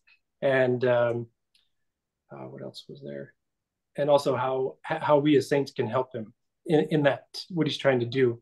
And I remember, I think it was one of his first talks is when he was called as an apostle, and he just hammers right into being Israel, and right into our covenants, and right into Abraham, Isaac, and Jacob. He just he goes just full fledged right into that right off the bat. And uh, I was just I'm like man, like that was back in was it like 84 or 85? I think when he was called to be an I wasn't alive then. oh, I think I was. I think I was, I think I was a baby. I was probably like a few months old. and so uh, I don't I don't remember experiencing it, but I remember just watching it. But um, yeah, it was I uh, from right then I'm like, man, because listening to his talks just since he's been called a prophet, as to be the prophet, have like he's been hammering on that a lot as well, mm-hmm. as like the power in the priesthood, being covenant Israel, remaining true to your covenants, like finding that spiritual power and strength to stay strong, to discern between what's right and wrong, and if it's not true or it's not correct, toss it out. Don't even deal with it. Um, and going back to what you'd mentioned too about how we have these desires for nothing more to not really be in the world or be of the world anymore but to just sort of toss things aside and focus more on christ. And i think that's a way we can help him our help our prophet today to get this message out to be true disciples is to find those things that are holding us back and just toss them out. And the more we focus on the savior i found the more willing i am to delve deeper into the scriptures to spend more time with with good saints like you guys doing things like this. And the less time I want to do the stuff I used to do, it just would waste my time. But anyways, I really like that insight. I really loved these two back to back. They really did go so well together. Um I was thinking because Mason touched on how the word is quick and powerful, right? You had some of those quotes in there, and I was just thinking there really is, it really is powerful hearing, reading scriptures or hearing scripture read, right? And that's something that actually attracted me to the Zion or Bust group. So I'm like, when I listen to firesides, when I listen to like what are, you know, content or things in the chat, I'm like, it's it's scripture a lot of the time and and that is so powerful just hearing that like there really there is a very real tangible power in those words right? And i almost used the quick and powerful quote in one of my insights and there was a quote from one of the manuals and it was like it was a different one it's like doctrine and covenants or something. Um, but it was pointing out how quick doesn't mean necessarily fast but alive. Mm-hmm. Like like as in quicken mm-hmm. right? So it's like it's alive and powerful. And mm-hmm. yeah. Anyway i i loved those two back to back yeah they fit well mm-hmm. okay. well speaking of words i'll, I'll go ahead and find my uh, final point um, about words and how powerful they can be um, In John 147, um, we read, Jesus saw Nathanael coming onto him and said of him, Behold, an Israelite indeed, in whom is no guile. So, um, several Hebrew words are translated uh, guile in the Old Testament, and each of them means deceit, treachery, dishonesty. As in Psalms 32, which says, Blessed is the man who unto the Lord impugneth not iniquity, and in whose spirit there is no guile. In the student manual for this section, it says without guile. While discussing the Savior's statement that Nathanael was a person in whom there is no guile, Elder Joseph B. Wirthlin of the Quorum of the Twelve Apostles explained that it, it means to be what it means to be without guile. To be without guile is to be free of deceit, cunning, hypocrisy, and dishonesty in thought or action. To be guileless, to deceive or lead astray. Priestcraft. Mm-hmm. As Lucifer beguiled Eve in the Garden of Eden, a person without guile is a person of innocence, honest intent, and pure motives whose life reflects the simple practice of conforming his daily actions to principles of integrity. To be without guile is to be pure in heart, an essential virtue of those who would be counted among true followers of Christ. If we are without guile, we are with we are honest, true, and righteous. All of these attributes of deity and are required of the saints. Those who are honest are fair and truthful in their speech, straightforward in their dealings, free of deceit and above stealing, misrepresentation, or any other fraudulent action. I believe the necessity for the members of the church to be without guile may be more urgent now than at any other times because many in the world apparently do not understand the importance of this virtue um, just in my thoughts this week have been about really uh, impressed upon me that um, my thoughts needed to be, you know, um, on those things, you know, that are virtuous. And um, I found um, in correlation to um, this scripture um, in the Journal of Discourses, Lorenzo Snow um, uh, stated in occupying the time this morning, I wish in the first place to call your attention to the fact that we are Latter day Saints, or at least ought to be, and that as such we are dependent upon the Lord for our instruction. This is in accordance with our faith that we have to look to Him for assistance under all circumstances, in all places, in all our affairs of life, and in all matters pertaining to furthering us on in the principles of godliness. Assembled together as we are this evening, mm-hmm. it is very necessary that we ask the Lord for his spirit, the spirit of inspiration, to rest upon us as speakers and as hearers, that we may be enabled to comprehend things that may be spoken and that they may be adapted to our individual needs. He further says, Should not the bishop who operates in our temporal matters be a very wise and good man? Certainly he should, a man of honor and integrity, full of the Holy Ghost, loving his neighbor as himself, and loving the Lord our God with all his might, mind, and strength. Blessed is he whom these two principles are developed, for such a one is without condemnation. He stands the peer of him referred to in the scriptures by the Savior as one without guile. In John 1:47, the people will soon learn to confide in such a man as he can establish unmistakable proof before God and before his brethren that he obeys these commandments which are involved are involved in all the prophets ever lived for. In D&C 124.20, again, it tells us and again, verily I say unto you, my servant George Miller is without guile. He may be trusted because of the integrity of his heart and for the love which he has to my testimony. I, the Lord, love him. I love that, that um, I, I don't know if these are compliments or just statements, but um, I love that the Lord um, says that of these men.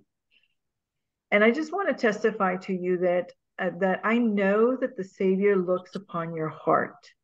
That is that, and I, I want to share part of a spiritual spiritual experience that I had, and so in relation to what he saw, um, you know, how he saw Nathaniel, because he didn't meet Nathaniel until he came up. You know, he came, and then he told him, "You're Nathaniel, and um, you were underneath a tree and he kind of told them and he says that he was in you know as he said that he was an israelite and he was without guile.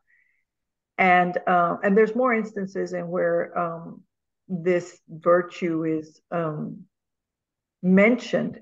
Um, to me i interpret it or understand that this is that the savior looks at you you know and knows you um, completely he knows what you're thinking. He knows what you're, you know, um, what you've done and what you're going to do based on all of these experiences you have. Um, the uh, spiritual experience that I want to share is, um, um, and I think I've shared with with the sisters previously before um, that I had a dream vision of the Savior years ago when, when I first became a member. And um, in that um, experience, I wanted to share that um, when I um, was able to finally uh, stand up and uh, see the Savior, I was able to look into his eyes. And when I looked into his eyes, I could only describe, um, as I've shared before, just looking at a vast ocean of love. That's that's the best I could describe. It was just endless and broad and deep and and and just overwhelming love.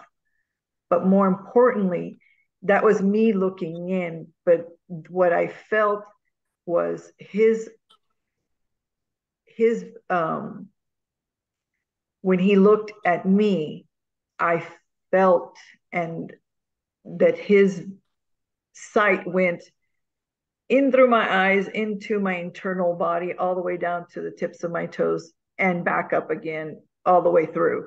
It was just kind of like a scan all the way up and down. I mean it was so piercing that that's what i felt and that he knew every inch or you know cell in my body through and through. And so that's what um um, I, I, I can only imagine what it's going to be, you know, when we do at some point, you know, is see the Savior, you know. Um, uh, I don't know that I can look at him eye to eye because it's just so it's, overwhelming, but um, that's what it means to um, that the Lord looks at you in your heart, know the person that you are, your intents, your heart, and is it without guile? Do we um, how how um, do are we uh, men and women of honor and integrity? Are we full of the Holy Ghost? Do we truly love our neighbors as ourselves? And I don't mean our physical neighbors. I mean every single one of us. I, know that I have a great love for each and every one of you and all of those in Zion of us. And and and I guess that makes it easy because we each are are are knowing each other, right? But do we love that neighbor that we deem that they're not worthy of it, of that love? Um, I can tell you that this week has been a, incredibly difficult. Um, to express that when you have someone that um, um, is on a, on a lost path. And you want to share the truth and the knowledge that you do know and that they're going down a very wicked path. And it, my heart breaks for them but you still finding that you have an incredible love for them because you know that their choices are down a, a, a wrong path. So i think that somewhere in between there that's what having no guile is is just being able to tap into that incredible love that the Savior uh, is, and um, that that was my thought. Those were my thoughts on uh, having no guile.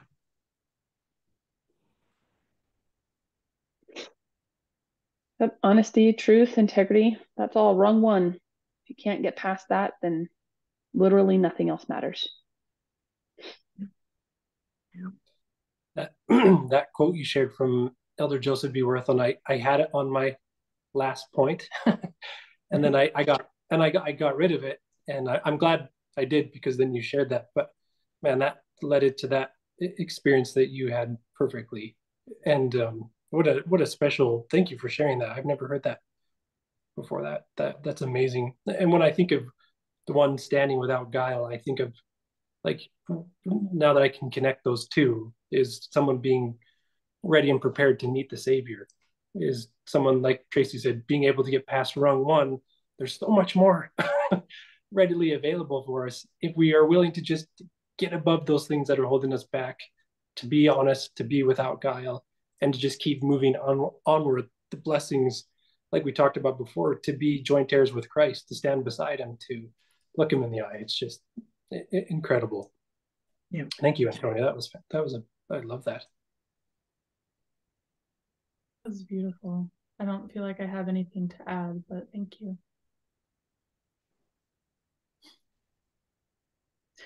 Oh, my next. Three Z's. Three Z's. Three Z's.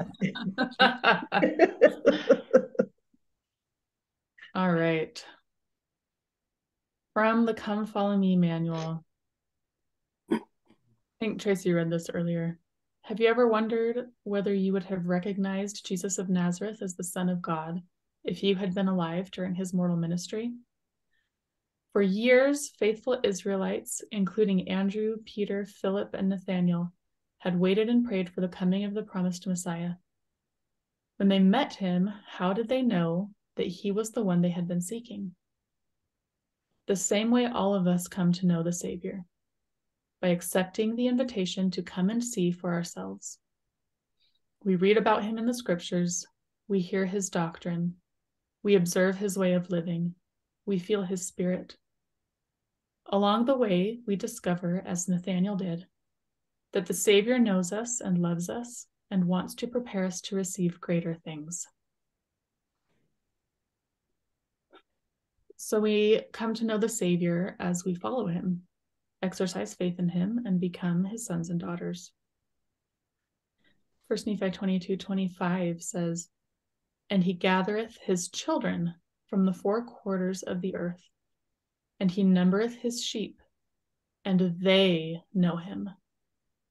And there shall be one fold and one shepherd. Um, I didn't put any other commentary on here, but you know, how will we know him when we see him?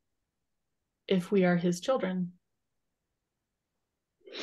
If we are his We'll sheep, know his voice. we will know his voice and we will be bound with him. That's something that um was in a, a recent Ensign article. I think it was October from President Nelson. He talks, it's the everlasting covenant. Um, and he talks about how covenants bind us to the Savior. Um, and we'll be know we'll know him because we will hear his voice and we will be like him when we see him. Um, but I also wanted to talk more about that last part. I love the interaction between Jesus and Nathaniel at the end of John 1. We don't get a lot of detail, but it is powerful nonetheless. And I'll just read it real quick. Jesus saw Nathanael coming to him and saith of him, Behold an Israelite indeed, in whom there in whom is no guile. Nathanael saith unto him, Whence knowest thou me? Jesus answered and said unto him, Before that Philip called thee, when thou wast under the fig tree, I saw thee. Nathanael answered and said unto him, Rabbi, thou art the Son of God, thou art the King of Israel. Jesus answered and said unto him, Because I said unto thee, I saw thee under the fig tree, believest thou? Thou shalt see greater things than these. And he saith unto him, Verily, verily, I say unto you, hereafter ye shall see the heaven open, and the angels of God ascending and descending upon the Son of Man. The Savior knows each of us individually. And I encourage you to think back and remember a time when you knew, really knew, that Jesus Christ is aware of you personally and knows your needs, desires, and circumstances. One of these moments occurred for Nathanael when Jesus revealed that he saw Nathanael under the fig tree. That was apparently um, a significant moment for him. I have had many experiences with God under my own fig trees. However, as precious as these experiences are, I also know that as we each continue in faith, we will see even greater things than these. 3 Nephi 26 9 says, And when they shall have received this, which is expedient that they should have first to try their faith, and if it shall so be that they shall believe these things, then shall the greater things be made manifest unto them. President Nelson, last conference, said, Those who live the higher laws of Jesus Christ have access to his higher power. Thus, covenant keepers are entitled to a special kind of rest that comes to them through their covenantal relationship with God. From Doctrine and Covenants 84:24, which rest is the fullness of his glory. And I will just end with this quote from Parley P. Pratt. If we were to say that before the coming of the Lord, many great things await us, and that we are prepared for all the changes which have to take place, and that they are nearer at hand than we would imagine them to be. And if we should say that that event was much nearer than many of us suppose, and that we have already received many warnings, most certainly we ought to prepare to receive greater covenants, to become more closely acquainted with the Spirit of God, to be more perfect in union, to know how to act more in concert, to overcome our weaknesses and errors of judgment, and ignorance and follies Learn to be happy and to come up to the mark and be sanctified before the Lord, that peradventure some portion of the keys and powers from the eternal world may be more fully bestowed upon us, that we may be prepared by gradual experience from time to time, that we may progress in the science and plan of salvation, and be prepared for the greater things that await us. I will not complain of our deficiencies, for we have been satisfied which, with the things which we have accomplished. But we have full confidence in the union and power that attends this work. It is for us to prepare and to repent of all our errors and follow our leaders until we reach celestial glory. The powers of heaven are neither ashamed nor afraid, but they have confidence in us and will dwell in our society. There are a great many keys and manifestations and preparations and associations between us and that great and perfect day when the Lord will come in the power of heaven. Let us all do our duty and be faithful to our covenants. May God bless you all. Amen.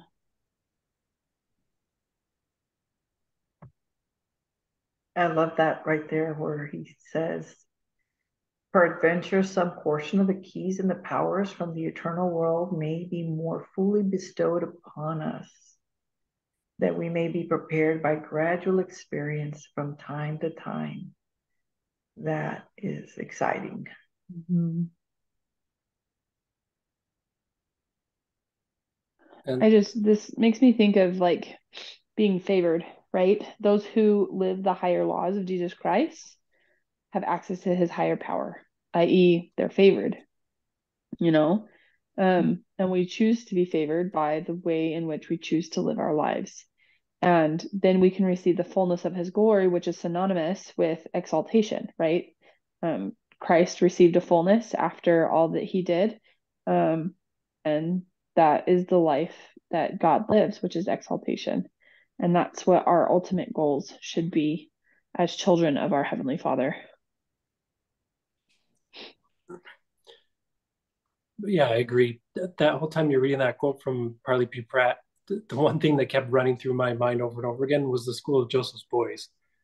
Um, because that right there, we're preparing to receive greater covenants. We continue to learn, we're overcoming our weaknesses, our errors of judgment, our ignorances and our follies. We're learning to be happy and come up to the mark, not shooting past it, not being stuck on rung one. and like I it was something like when I first heard about the Joseph's Boys classes, it, it was just like the second I heard about it, I was like, what is this? I need to do this. and then I started to learn a bit, a little bit more about it. I'm like, oh, it's like a class, or it's like all these different topics to learn about. And uh, I just felt like this duty and obligation to go through it. And I took it really seriously. And I had some of the greatest spiritual experiences to me personally running through those courses um, that really strengthened my testimony, not only in the prophet Joseph Smith, but in our really what our divine purpose is on this earth. And I love how he said that here. It's to prepare to receive greater things. It's to prepare to do greater works.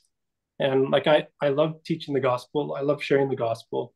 I love bearing my testimony, and I, I love trying to do my best to be a part of gathering Israel on both sides of the veil. But I'm more excited for the work that's to come too and the school of joseph's boys and doing stuff like this has just given me such a better understanding of it. And that was just something that really ran through my mind going through that is just those next steps that we come to and there's a lot more to look forward to and to be excited about. But mm-hmm. yeah i love that quote. That's great. The whole insight was great.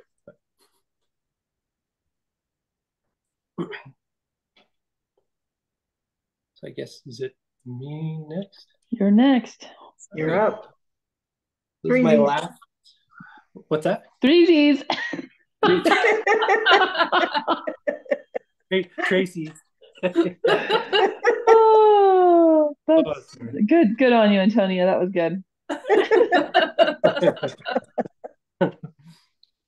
okay. Um, so I hit a little bit on um, let's see here on John chapter one, uh, verses 45 through 51 as well, but I took it a little in a little bit different way, I think, but still the same. So hopefully it'll make sense. And this isn't a 2 a.m. rambling, it's like a 3 p.m. in the afternoon rambling, which all my thoughts are ramblings, but um, so, sorry. Uh, so there was two questions from the Preach My Gospel that I put in here because I, I really liked them and it kind of, I don't know, it's kind of interesting in preparing these three insights, my mind just kept going back to this experience I had as a kid and and to third Nephi chapters eight through eleven. I don't it's weird reading in the Old Testament. My mind was on the Book of Mormon the entire time, and um, so I threw this experience in here, and I hope it's okay that I shared this. But, anyways, I'll just get to it. Uh, so in John chapter 1, verse 35 through 46, this question that's asked in Preach My Gospel, it says, What are the results of John's testimony? What can your family learn from the people described in these verses about how to share the gospel? Um, so I just gave a quick, simple answer was, and we talked about this earlier with Tracy's first point, was that he found Jesus and brought others unto the Savior, and those in turn also followed the Savior and brought others unto Christ. Uh, and then the second question stems from John 1 45, verse 52, 45 to 51. What did Nathaniel do that helped him gain a testimony of the Savior? Invite family members to talk about how they've gained how they have gained their testimonies. And so I just shared verse 51. I won't read through all of them again, but it says, And he saith unto him, Verily, verily, I say unto you, hereafter ye shall see heaven open, and the angels of God ascending and descending upon the Son of Man. So he, he when he ta- the Savior talks to Nathaniel, he's telling him there that he'll be able to see the heavens open. He's having these this spiritual experience, and that's what. Uh, so then I wanted to share this quote from Elder Bruce R. McConkie. It's titled "What's What was Nathaniel, Nathaniel's experience under the fig tree?" And to quote Pres- uh, to quote Elder McConkie, he says, "Jesus here exercises his powers of seership from the fragmentary account preserved in the scripture, it is apparent that Nathaniel had undergone some surpassing spiritual experience while praying or meditating or worshiping under a fig tree. The Lord and giver of all things spiritual, though absent in body, had been present with Nathanael in spirit. And the guileless Israelite, seeing this manifestation of seership, was led to accept Jesus as the Messiah. So it's it's interesting. Like I think back to Antonia's uh, ex- experience she shared like the, the how to in order to gain a, a better understanding of who our savior is and to gain a testimony of him he doesn't have to be here in the body it's through understanding how to hear him and to where to find it, to hear him through the scriptures or through the words of the prophets is what really draws us near to christ and when we go back to our discussion earlier on the light of christ and on truth and on those piercing words that we hear when testimonies are born that, that's how we work together to learn more about Christ and become more committed to Him. And so I'll just share this uh, experience I had with you guys quick, and hopefully it doesn't sound too out of control. You can stop me if it does. But um, so this is a story that I ha- happened to me when I was 11 years old, and uh, I feel like it wraps my three insights together quite nicely. Um, so this is about my great grandfather, and just to tell you a little bit about him, he was a terrifying man, and he was like barely five feet tall, and I'm six foot one, and he still scared the heck out of me. But I mean, I was 11, so I was a lot shorter than him back then. But if he was alive today, I'd still be terrified of him. But he was from Wales, so he had this really thick Welsh accent. And my dad used to joke that when he was a baby, instead of getting a pacifier, they gave him a tobacco pipe because he smoked a pipe like his entire life. And so, um, what's that? Yeah. So, anyways, he was just had this raspy, croaky voice, and he was terrifying anyways, the night before my great grandfather passed away, my father, my uncle, and I went to visit him in the hospital, and he had a really bad case of pneumonia. so we know he didn't have much time left. And my father asked him while we were there if he'd like a priesthood blessing or even a prayer to help comfort him. And one thing I forgot to mention, he was did not believe in God. He was atheist and hated the church and always let us know his thoughts on it. Uh, so after my father had offered him a priesthood blessing or even a prayer to help comfort him, he refused, and what he said next was something that really pained me for a lot of years. Uh, he exclaimed, No, I don't want any of your pity. I want none of your religion. There is no God, there is no heaven, and there is no hell. When we die, it all goes black. There is nothing for us after this life. We just stop existing. Then he turned on his side and refused to speak with us any longer. When we left the room, when we left his hospital room, my uncle looked at, at my father and he said, Well, he's in for quite a surprise. They both laughed, and from that point on, I don't remember any more of the conversation because those final words that I had heard my great grandfather speak brought a plethora of doubts, questions, and dark thoughts to my mind. What if my great grandfather was right? What if there was just nothing, just emptiness and darkness? I started to question everything I knew about God, the afterlife, and our afterlife, and our purpose on earth. I used to lay awake at night, afraid that I might die in my sleep and never again experience light, only fading away into an empty void of darkness and nothingness. I used to have these nightmares of just not existing and being utterly alone, with not a soul to talk to, not a light to shine, no friends, no family. After years of dealing with this, I was frustrated and I was exhausted. I'd finally decided to fill my parents in and ask for help. my father gave me some of the best advice that a child struggling in the darkness could, could have ever received. He told me to pray and read the scriptures. Pretty primary answers. But then he expounded on that a little bit more. He explained that there is light within the scriptures because they are filled with truth. To find out what happens after we die, I must turn to sources of light and truth, not to a crotchety old Welshman. sorry. sorry, sorry, Grandpa. Um, uh, he told me that a great place to start was start at was at the back of the scriptures of the Bible dictionary and the topical guide. Anytime I had a doubt or a fear creeping in about a certain topic, that I should search it out in those sections and I should read about it. Then write down any scriptures that are referenced, then read those scriptures, pray to Heavenly Father, and ask Him to help ask Him to help me understand them. So I did exactly that. I sat down with a set of scriptures. I looked up everything possible I could think of that I was struggling with. But the one scripture passage that had really cleared things up for me and had dispelled the darkness from my mind is when I had read 3rd Nephi chapters 8 through 11 for the very first time. Something I had learned in those chapters was that when a group of people or a person is at their weakest and their darkest moments, they can still find peace. They can still find comfort and they can have light. That light which comes to us through Jesus Christ is a gift from our Father in heaven. And that light is far brighter and much more superior to any darkness that may try to overshadow us. And I'll end this insight with a quote from President Nelson's talk that I feel sums up nicely a lot of these things that I learned from this experience and how it was a starting point for my testimony and my love for my Savior and his word within the scriptures. To quote President Nelson, repeatedly past prophets have declared great marvelous things unto the people, which they did not believe. It is no different in our day. Most people do not embrace these truths, either because they do not know where to look for them, or because they are listening to those who do not have the whole truth, or because they have rejected the truth whenever he was introduced his only begotten son to whenever god introduced his only begotten son to mortals upon the earth he had done so with remarkably few words on the mount of transfiguration to peter james and john god said this is my beloved son hear him his words to the nephites in ancient bountiful were behold my beloved son in whom i am well pleased in whom i have glorified my name hear ye him and to joseph smith in that profound de- declaration that opened this dispensation God simply said, This is my beloved Son, hear him. Now, my dear brothers and sisters, consider the fact that in these three instances just mentioned, just before the Father introduced the Son, the people involved were in a state of fear and to some degree desperation. The apostles were afraid that, that they saw Jesus Christ encircled by a cloud on the Mount of Transfiguration. The Nephites were afraid because they'd been through destruction and darkness for several days. Joseph Smith was in the grips of a force of darkness just before the heavens opened. Our Father knows that when we are surrounded by uncertainty and fear, what will help us the very most is to hear His Son. Because when we seek to hear, truly hear His Son, we will be guided to know what to do in any circumstance. God gives us the patterns for success, happiness, and joy in this life. We are to hear the words of the Lord, hearken to them, and heed what He has told us. We can go to the scriptures. They teach us about Jesus Christ and His gospel, the magnitude of His atonement, and our Father's great plan of happiness and redemption. Daily immersion in the Word of God is crucial for spiritual survival, especially in these days of increasing upheaval.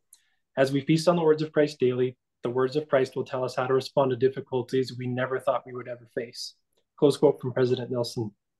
And I'll just close with my words. After spending so long in confusion and darkness, through that experience, I was filled with the light of Christ. It was lighting up the truth, and I was no longer in darkness. I was gaining knowledge and an understanding of how the scriptures are the word of God and how they testify of Jesus Christ, who had suffered and died for us and was resurrected so that we will all live again. I had come to know and started to gain a testimony that we will not just fade away into nothingness, that there is life after death, and that we truly have a divine purpose in this life. I had heard the words of Christ, I had heard the truth, and I was changed because of it. That ends my third trace thoughts. Thank you, Mason. I really enjoyed that. I really enjoyed that. I enjoyed the part where you, you know, went to your father and that he uh, directed you to the scriptures and not just directed you, but told you when you have a question, this is what you do. It's uh, such an amazing thing to be able to have parents that, you know, goodly parents that, you know, know um, what to do when you have a child that's, you know, seeking answers. And it's just, it was a, a thank you. I really enjoyed that. Mm-hmm. Thanks. yeah. It goes to what you had said earlier, um, Tracy, about um, we're supposed to lead them to the light. You know, we're not supposed to, you know, be the light. We're supposed to lead them to the light. And that's a perfect example of how his father, you know, did that, you know, and directed him in that way. And this is where the light is. And that's where he found, you know, his testimony and um, his experience. Well, and that's how we gain these these experiences and like moments with the test or with with the Holy Ghost, right? we have to put ourselves in, into positions to um, have these experiences. And if we don't then we're not hearing him. We can't hear jesus. He's not going to appear to us. Um, it, it's it's actually really rare you know to have a joseph smith or an alma or a paul experience. Um, it's more common um, as Elder Bednar describes it in some videos that he did for seminary, you know, that it's it's more like the sunrise.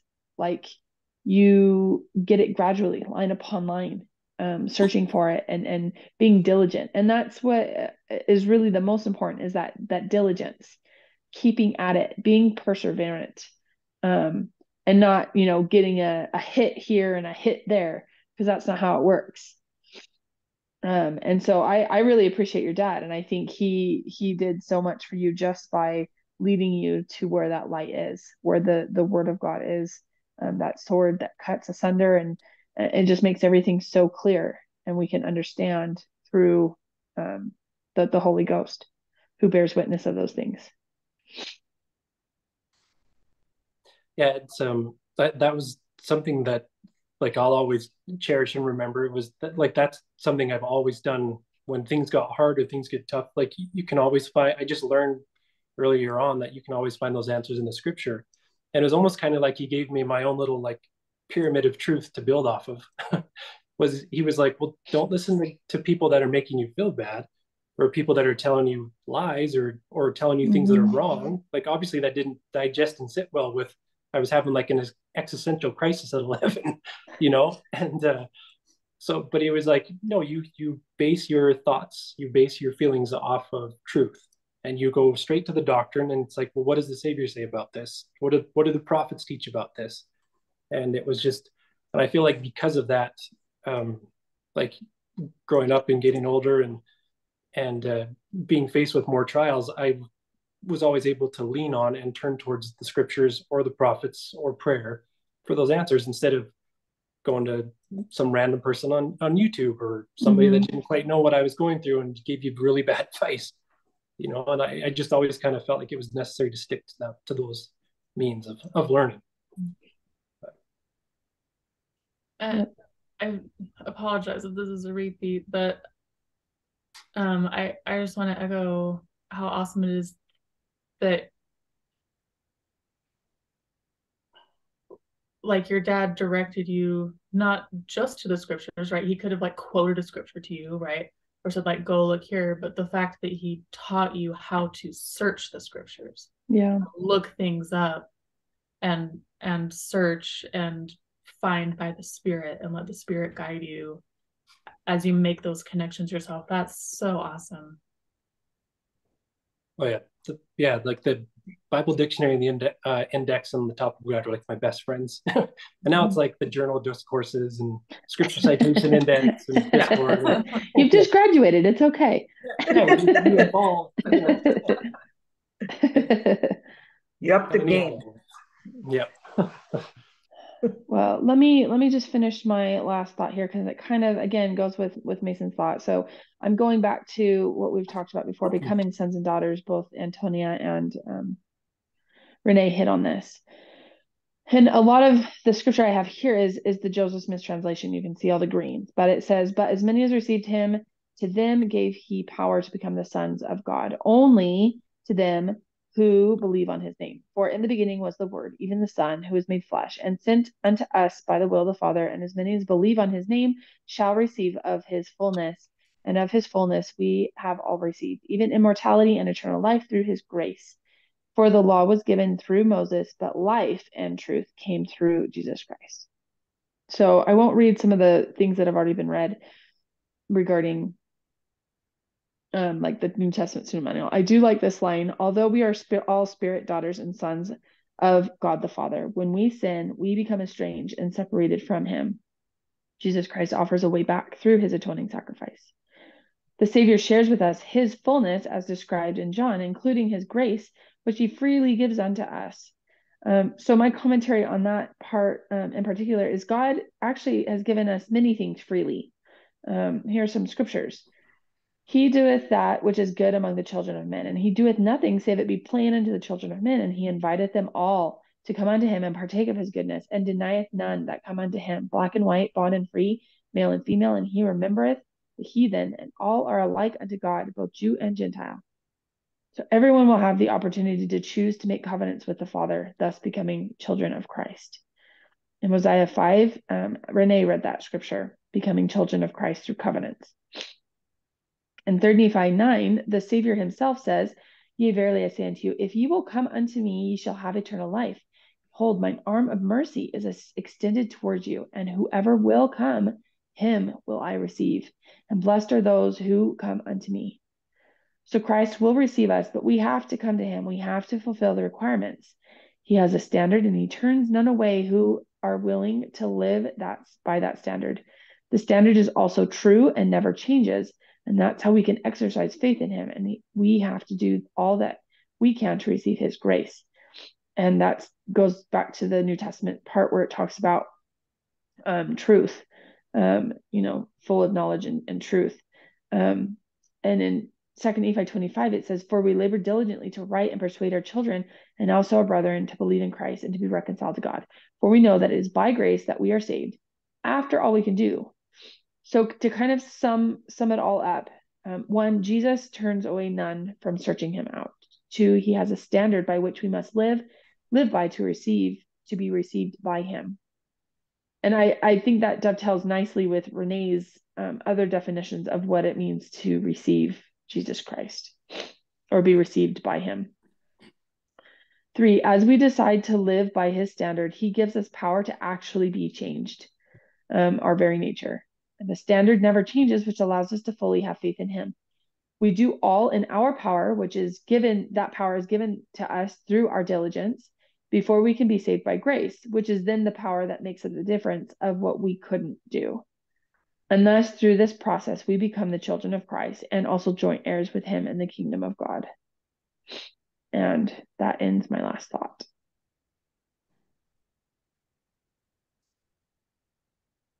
I love that. I could talk about being sons and daughters of Christ for a long time. um, it just it's like it's the quintessential or the culmination of the plan of salvation, right? Mm-hmm. Christ was sent here. He's he's the the cornerstone. He's the hinge point. He's you know everything hangs on him, and if we're becoming His sons and daughters, then we're fulfilling that very plan. Mm-hmm. Yeah. I don't know if it's something you said or just a thought that I had. I'm actually not sure. but just the um and and maybe this was connecting what you were saying toward the beginning that that we're children of God in two ways, right? That that we are spirit children of our heavenly father and and that will never change. We will always be that. But being a child of christ is a, is different and that's something that we choose to do. And when i was looking at some things i didn't put put this in mind but as i was looking it up it's like there's a category or a i don't know a thing in the index that's family comma children comma duties of and i was like oh mm. duties of children right and just that it, it just goes along with all the other things that that we and others have been talking a lot about recently and, and in conference, like choosing to be chosen, right? What does it mean to have power to become a son or daughter? It's it's power to do what children do, right? It's like a role that we have to choose to take upon ourselves and take on the responsibilities of. And what is it that children do? Obey their parents and become like their parents. And that's what we're supposed to do. We're supposed to obey Jesus Christ and become like Jesus Christ. And that's like our role as children if we choose to do those things, right? But anyway. Yeah. So let's choose. Let's do it. Yeah. in um, oh, where was I looking that up? Um, when you're talking about being the the children of Christ. Um, sorry, I just had a quote here. Oh, here it is from Elder Paul Piper. He, he says, Our Heavenly Father wants to make it absolutely clear that the name of His Son, Jesus Christ, is not simply one name among many. The Savior's name has a singular and essential power. It is the only name by which salvation is possible. By emphasizing this truth in every dispensation, our loving Father assures us assures all of his children that there is a way back to him. By having a sure way available does not mean that our return is automatically assured. God tells us that our action is required. Wherefore, wherefore all men and women must take upon them the name which is given of the Father. and so I, I love. Um, I think it, actually, I think it was you, Tracy. You you gave did you give a talk in church and you posted it in your work on becoming the children of light? Is that your t- church talk or sacrament talk? Uh, no. Oh, okay. Sorry. Maybe it was somebody I did else, talk about children becoming children of light. Was it last week, Renee? In uh, Sisters in Zion. It was either last week or the week before. Okay. I don't Well, know if I- maybe that's what you're referring to. I don't know. But no, I did not give a talk in sacrament meeting. Oh, okay. Sorry. Or maybe it's a little paper or something, but I, I remember it was, I very first joined up on Discord and I'm, I was looking through all the threads and there was a your work one and I clicked on it and it was somebody had a talk on it or something. And it was like, it really, and that quote was in there and it really kind of made me think about like taking on the, upon the name of Christ, Mm. like working out our salvation here. How they say, like, is it, was it President Nelson that says salvation is an individual thing, but exaltation is a family matter. Mhm. And when, when I think about family, it's not just, you know, mom, dad, kids, it's, it's all of Israel coming together as sons and daughters of Heavenly Father, as children of the light, as children of Christ, coming together to be those joint heirs with our Savior.